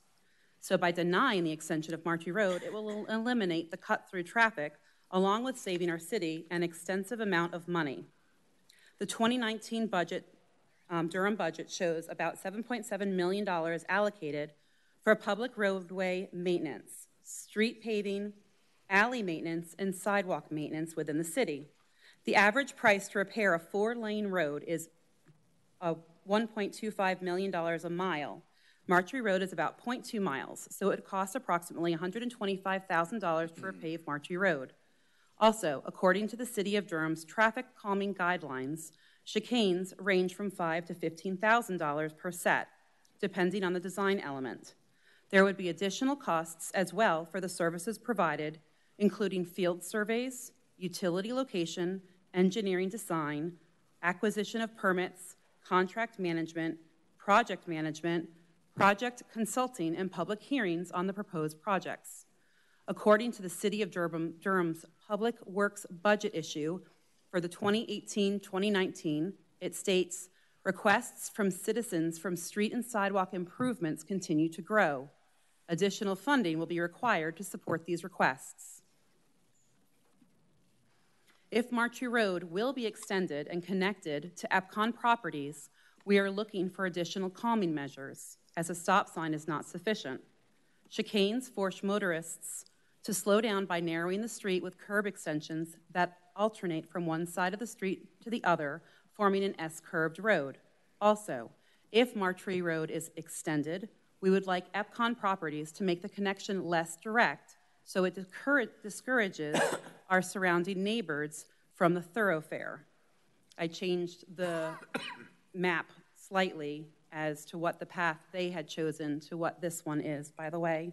Um, and we had spoken, our community went to the meeting on August 15th and spoke in depth to EPCON Properties and McAdams and asked for them to make the road less direct.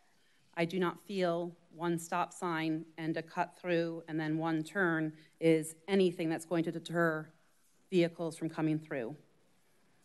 Thank you for taking your time and taking our viewpoint into consideration. Having our concerns represented at the city level reaffirms that Durham cares about its residents and is committed to pursue growth in a responsible manner. Thank you. Thank you, Ms. Eichelhart. You're welcome. Thank you for sending us your slides earlier. You're welcome. Um, okay. Is there anyone else that would like to be heard on this item? Is there anyone else present who would like to be heard on this item? Uh, and Mr. Ghosh, you have some remaining time. Would you like to? Mm-hmm. Uh, again, this is Neil Ghosh with the Morningstar Law Group. Uh, well, thank you, Jessica, for your presentation. I, I will admit it was very thorough. Um, and some of the points she made in her presentation I think are exactly some of the reasons why a connection between these two roads is necessary. Uh, she mentioned that in this area there are over 800 homes, and the only connection uh, between Herndon Road and Fayetteville Road are Scott King and uh, Massey Chapel. Those roads are uh, about 1.7 miles apart, uh, which on you know a typical block is not going to be that long. And right now, the connectivity in that area is not very good. Adding an intermediate point of connection between Herndon and Fayetteville would increase connectivity, but uh, probably not to where it needs to be uh, for a city that is growing at the rate that Durham is. Um, one of the slides she showed uh, showed an alternate route for uh, the connection, uh, or I guess the path through the EPCON community from Martree Road. Uh, and I couldn't tell you anything about that specific uh, design that, that she presented. Uh, but the design that we did, that we've presented on our site plan, the design we've shown there, I can tell you is compliant with the city standards for road connection, including uh, the amount of curvature that you're allowed to have in a road. Um, and, you know, generally, uh, you don't want connections that would require you to basically uh, turn your car as far as you can go. That's not the way that uh, city roads are designed. And so the design that we've, we've looked at is a circuitous route, in our opinion, uh, and does offer that four-way stop uh, to, to hopefully to uh, deter people from using this as a cut-through. I can appreciate that there may be some other ways to design a road. However, we do think that the one that we've provided is a good way to design it and will provide a safe connection, which I think is probably the most important thing. Um, Again, we hope to have your support, and we're here to answer any questions that you have. Thank you. Thank you very much. Uh, anyone else that would like to be heard on this item? Is there anyone else in the audience who would like to be heard on this item? All right. Uh, I'm now going to uh, ask council colleagues if you have any uh, questions or comments. Uh, Mr. Manager. Uh, Mr. Judge, could you come up for a second, please? Could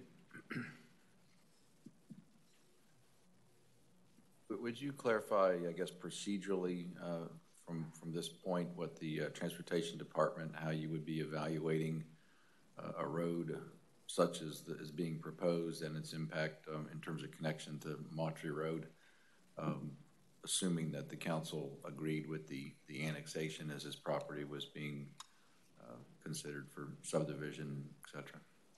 Yes. So, Bill Judge, transportation. The uh, Unified Development Ordinance would require a connection to Martree Road. uh, from this proposed development. So as part of the subdivision site plan, we would review the proposed road layout uh, to make sure it met all city standards. Um, we do have a number of traffic calming devices um, that could be utilized if the developer chose. If they had concerns about cut through traffic, we would have to coordinate with the fire department on, on the impact of those before we would approve that. But those, those could be incorporated if the developer chose. And so the, the alignments or any of the configurations that were, that were graphically shown tonight are, I assume not anything that the Transportation Department has already reviewed and approved? Oh, no, nothing shown by the opponents. Uh, the or the or the proponent submitted a. Uh, the proponents have submitted a. Um, I guess at least I don't remember if it was formally submitted or at least shared with us a draft site plan, uh, as described by uh, Mr. Ghosh, that that we have reviewed. But that's not been approved by the department It has not been approved at this point. Thank you. And then in terms of the, you said the Moultrie Drive, that's something that still would have to be evaluated in terms of uh, emergency vehicle access and any requirements for uh, street widths and parking on streets and those kinds of things? Yes, so the, um, I mean, the connection is required. If there were to be any traffic calming devices or other things, we would need to coordinate that through with emergency responses before approving those. Thank you. Thank you, Mr. Manager. Uh, Mr. Judge, uh, I just want to note that the memo from the staff, staff understands there may be questions relative to eliminating the connection to Marjorie Road, which is not being considered as part of this annexation request. However, staff would not support a street closing application for Marjorie Road if submitted, since closing that stub would result in a violation of the UDO. Compre- uh, contra- contrary to the comprehensive plan and the UDO provisions require roadway connectivity that could impact the delivery of emergency services, utilities, and solid waste services. So just wanted to note that that is also part of this memo. Yes. Okay. Council members, questions, comments? Anybody? I'm happy to make a few remarks, Mr. Mayor. Councilmember Reece. Perfectly willing to leap into the breach. Um, I want to first thank staff for um, their work in making sure that we had all the information we needed on this. I thought the staff work on this, especially the memo, was excellent. Um, I also want to appreciate the fact that the uh, property owner um, took the comments of council members at the last um, annexation process to heart um, and sought a uh, new developer for the project that was interested and eager to address the problems that the city council identified with the proposed annexation in 2017.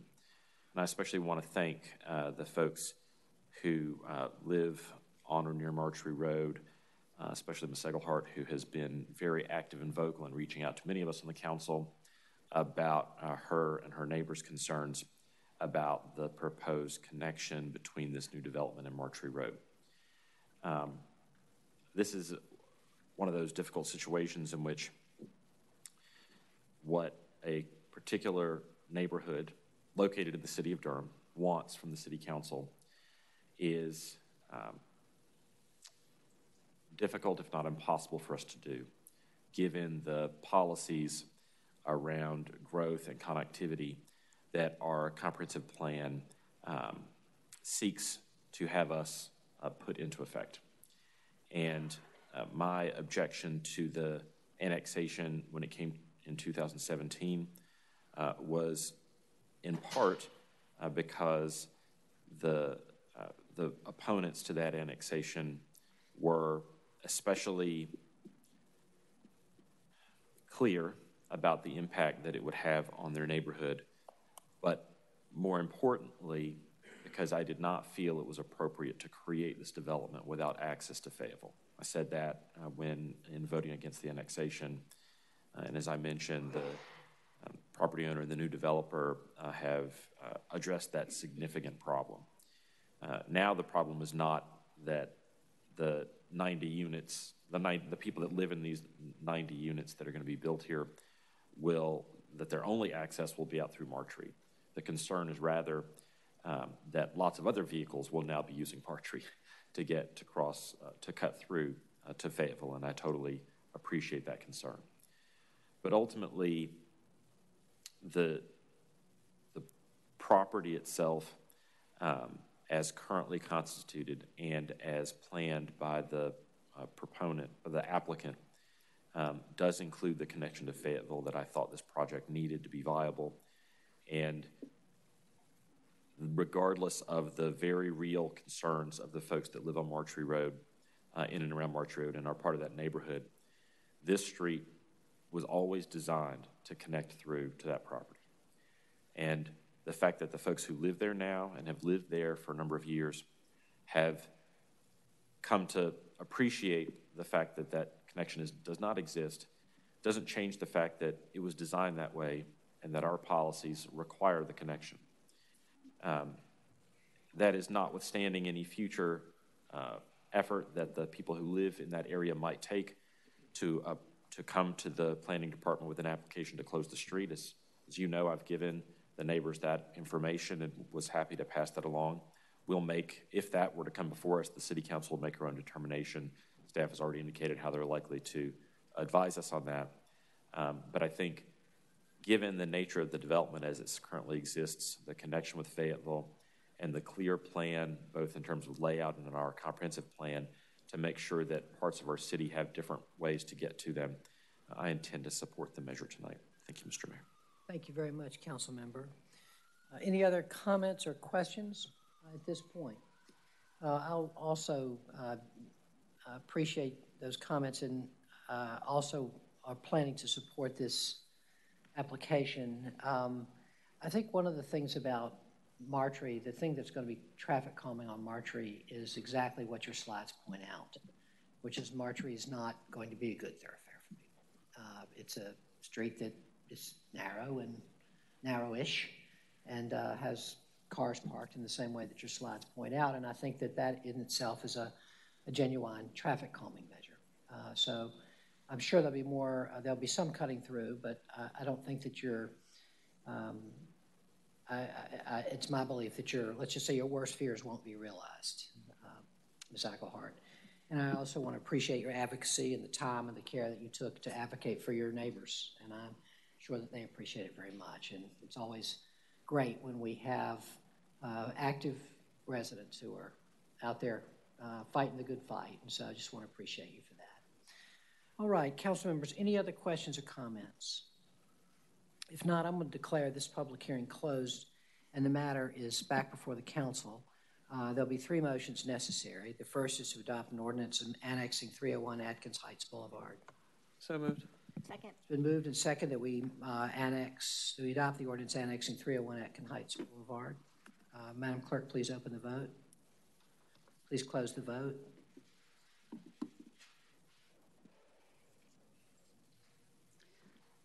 The motion passes four to, no, the motion passes six zero. Thank you.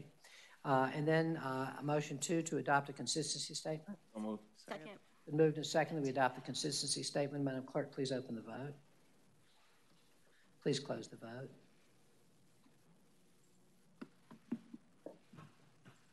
The motion passes six zero. Thank you. And motion three to adopt the ordinance amending the UDO. So moved. Been moved and seconded we adopt, the, we amend the UDO. Uh, Madam Clerk, please open the vote. And please close the vote.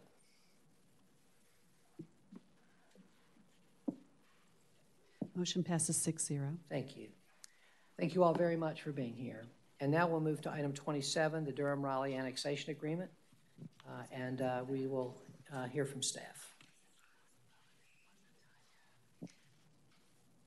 Good, evening, Mayor and Council members. I'm Grace Smith with the Planning Department.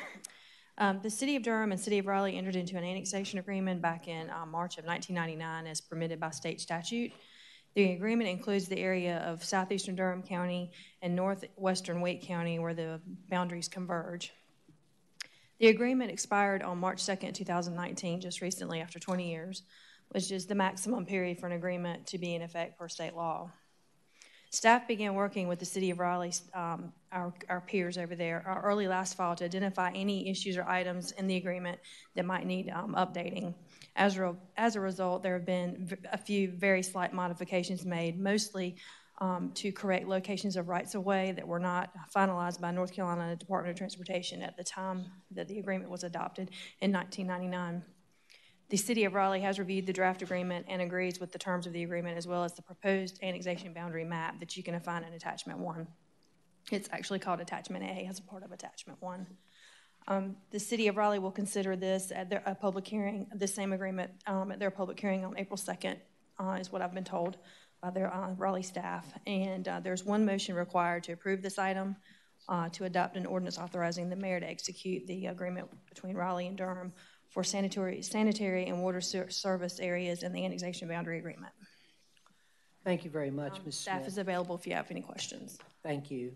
Uh, You've heard a report from staff. I'm now going to declare this public hearing open. I'm going to ask if there are any questions by members of the council for our staff. If not, I'm going to ask if there's anyone, oh, I'm sorry, there is someone here to speak on this item. Nelson Paul? Mr. Paul, are you an opponent or proponent? Okay. Please, come forward, and will three minutes be sufficient? I hope, sir. I, I think so, sure. Okay, thank you. Go ahead. Uh, thank you, Mr. Mayor and City Council. Um, my name's Nelson Paul. I'm a real estate agent. Um, I live at um, Morrisville. Um, my wife and I run our company. She's here this evening. Uh, and also with me this evening is Pastor David Newell. He, he's with River of Life Church. And I'm appearing here on behalf of River of Life Church also. Um, the property that I want to talk about tonight is located at 7326 Leesville Road. Uh, in the new proposed annexation agreement between the City of Durham and the City of Raleigh, the, this property is on the City of Durham side of the new proposed annexation agreement. Um, as exhibits will show, there's physical evidence that the City of Raleigh already has water and sewer infrastructure on this property. Um, I've provided exhibits that I gave to the clerk. I suppose she passed them on. Um, but Exhibit A shows the property location. It shows um, how it's situated, and it's at the corner of the intersection of Leesville Road and Shady Grove Road. Uh, Exhibit B shows the position of the property relative to, relative to the existing annexation agreement, which I believe is going to be the same line uh, that was adopted 20 years ago. Um, the property across Leesville Road to the north is in the Raleigh jurisdiction. The property across Shady Grove Road to the east is also in Raleigh jurisdiction. This, this property is the only property in this intersection that's not in Raleigh jurisdiction. Um, and Exhibit- C also illustrates that there's a fire hydrant and sewer manhole on the property. You can, uh, in Exhibit C, you- if you, y'all probably don't see this in, in the copy that you have, but in the digital copy, you can zoom in, and the manhole cover actually says sewer on top of the manhole cover. Um, City of, City of Raleigh is the only provider of water and sewer services in that particular lo- vicinity, location there. Um, if the property remains in the City of Durham jurisdiction, any developer of the property will have to spend thousands of dollars unnecessarily to, to duplicate service that already exists there. Um, in view of the evidence that's available to us on the site, one can only logically conclude that the original intent was this pro- property to be in the city of Raleigh jurisdiction. Um, because of this, I'm, I'm respectfully requesting that this property be released to the city of Raleigh jurisdiction in the new proposed annexation agreement. Thank you, Mr. Paul. Appreciate that. Um, Of course, it's hard for me to imagine why anyone would be, want to be in the city of Raleigh who could be in the city of Durham, but I expect that that's a, um, I'm going to ask the staff if, uh, do you, have you had a chance to review this, Ms. Smith, and, and could you make some comments on this? So we have been in close cooperation and communication with the City of Raleigh staff, and um, I actually have a memo they shared with us um, that was written to their city manager from the um, Development Services Manager with Public Utilities, and it's dated the 26th of um, February. And they, the quote, um, quoting out of, out of their memo, is that um, Excuse me, Ms. Smith. Mhm. From public utilities, what is public utilities? Um, Public Utilities is a section of their Development Services Department. Uh, Mr. Sorrell is the Mm, one that the drafted city the of memo. In City of Raleigh to the city manager in Raleigh. And um, this is what they're saying, they, um, to explain what um, Mr. Paul was just speaking about. Raleigh does own and maintain a water main in the NCTO, NCDOT right-of-way of Shady Grove Road adjacent to the parcel. This water main has been in place since 2004 and is intended to serve the Raleigh side of the boundary line. Raleigh sewer is not currently available to the property located at 7326 Leesville Road. One of the photos that Mr. Paul represented, will present to council does not show a sanitary sewer manhole cover on this, pro- on this property. Oh, it does show a sanitary sewer manhole cover on this property. However, this manhole houses a water main air release valve, and they have um, asked that the cover be changed because it was labeled incorrectly, is what they told us. Um, Furthermore, the, Raleigh's recommendation is to take no action to move the line at this time, to leave it as it is. Um, The jurisdiction, the properties in the jurisdiction in the, of the city and county of Durham, and because of this the annexation agreement and the lack of sanitary sewer availability in Raleigh, and the connect, current connection policy would not support new water and sewer connections at that property, is what Raleigh is telling us. And they, they spent quite a bit of time with us looking at um, several properties in this area. We had questions from other people too about utilities and, and how would they would be served. And we have not proposed to move the line based on the information we received from Raleigh. Let me just see if I can clarify. The, there is no sanitary sewer from Raleigh to this area. That's what this memo says, there is none. And what does it say about water? It says there is a water main in the, um, in the right-of-way of Shady Grove Road, but it serves the other side, which is in the Raleigh um, jurisdiction, Okay, according to this memo. all right. Mr. Paul? Well, you have pictures in front of you. Um, the pictures, you know, the manhole cover clearly said sewer. And, you know, when you have a fire hydrant on a property, I'm sure the fire department would be very confused if they uh, responded to a fire out there and found that that fire hydrant wasn't working for some reason. I, it, the fire hydrant is physically on the property, uh, regardless of what the memo says with the city of Raleigh.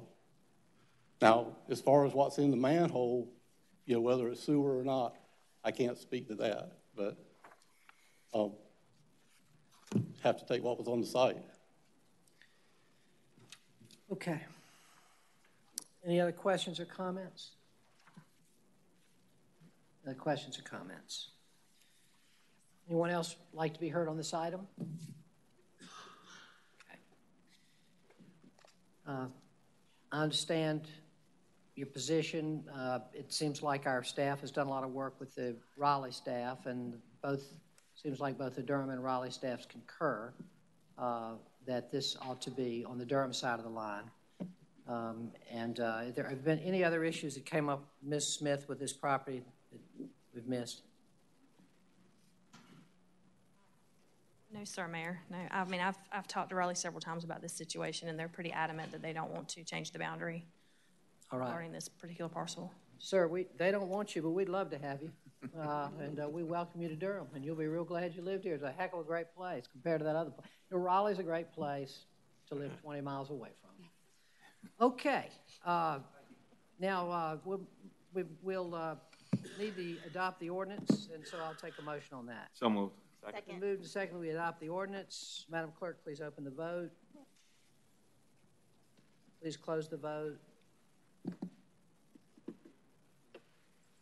The motion passes 6-0. Thank you very much. We appreciate you being here, sir. Uh, Don't forget your jacket there. I'm an all-purpose mayor. I do it, I do it all. Okay, item 28, Chapter 62, Article 2, Division 3, updates to allow for the acceptance of developer-built trails for city ownership and maintenance. Mr. Joyner, welcome. Robert Joyner, Public Works Department. Uh, Parks and Recs Department, Parks and Recreation Department, City Attorney's Office, and the Public Works Department work together to draft proposed revisions to the City of Durham Code of Ordinances.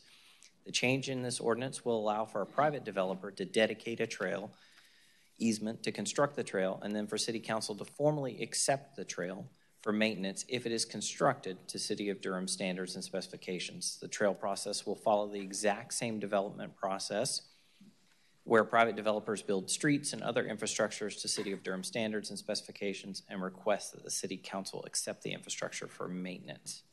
City Council may choose at its discretion whether to accept the infrastructure for maintenance in all cases. Thank you very much, Mr. Joyner. You've heard the report from staff. I'm going to declare this public hearing open. Uh, And um, first ask, is there anyone here who'd like to speak on this item? And I'd say apparently not. Um, Questions or comments by members of the council? I have a question, Mr. Mayor. Um, Is the intent behind this so that it would encourage developers to build trails if they knew that they weren't, that the homeowners association or whoever moving forward wouldn't have to deal with the maintenance of it? That is correct, and we actually have a developer in the process that is in consideration of this. So we are paving the way to create opportunities for a partnership to exist uh, whereby folks can utilize their resources to add to the city inventory and increase um, development in that prospect. Would the trail then be considered publicly owned? That is correct. Thank you. Thank you, Madam Mayor Pro Tem. Other questions or comments? If not, I'm going to declare this public hearing open. Mr. Joyner, thank you for being here. It's nice to see you here to talk about something other than a failed and struggling development. All right, uh, I'm decla- this here, public hearing is now closed, and I'm going to accept a motion to adopt the ordinance amending Chapter 62. So move. Second. It's been moved and seconded. Madam Clerk, please open the vote. Please close the vote. The ordinance passes 6-0. Thank you very much. There being no other business to come before this body, I'm going to declare this meeting adjourned at 10:01. Thanks, everybody. Yeah. A lot of public hearings.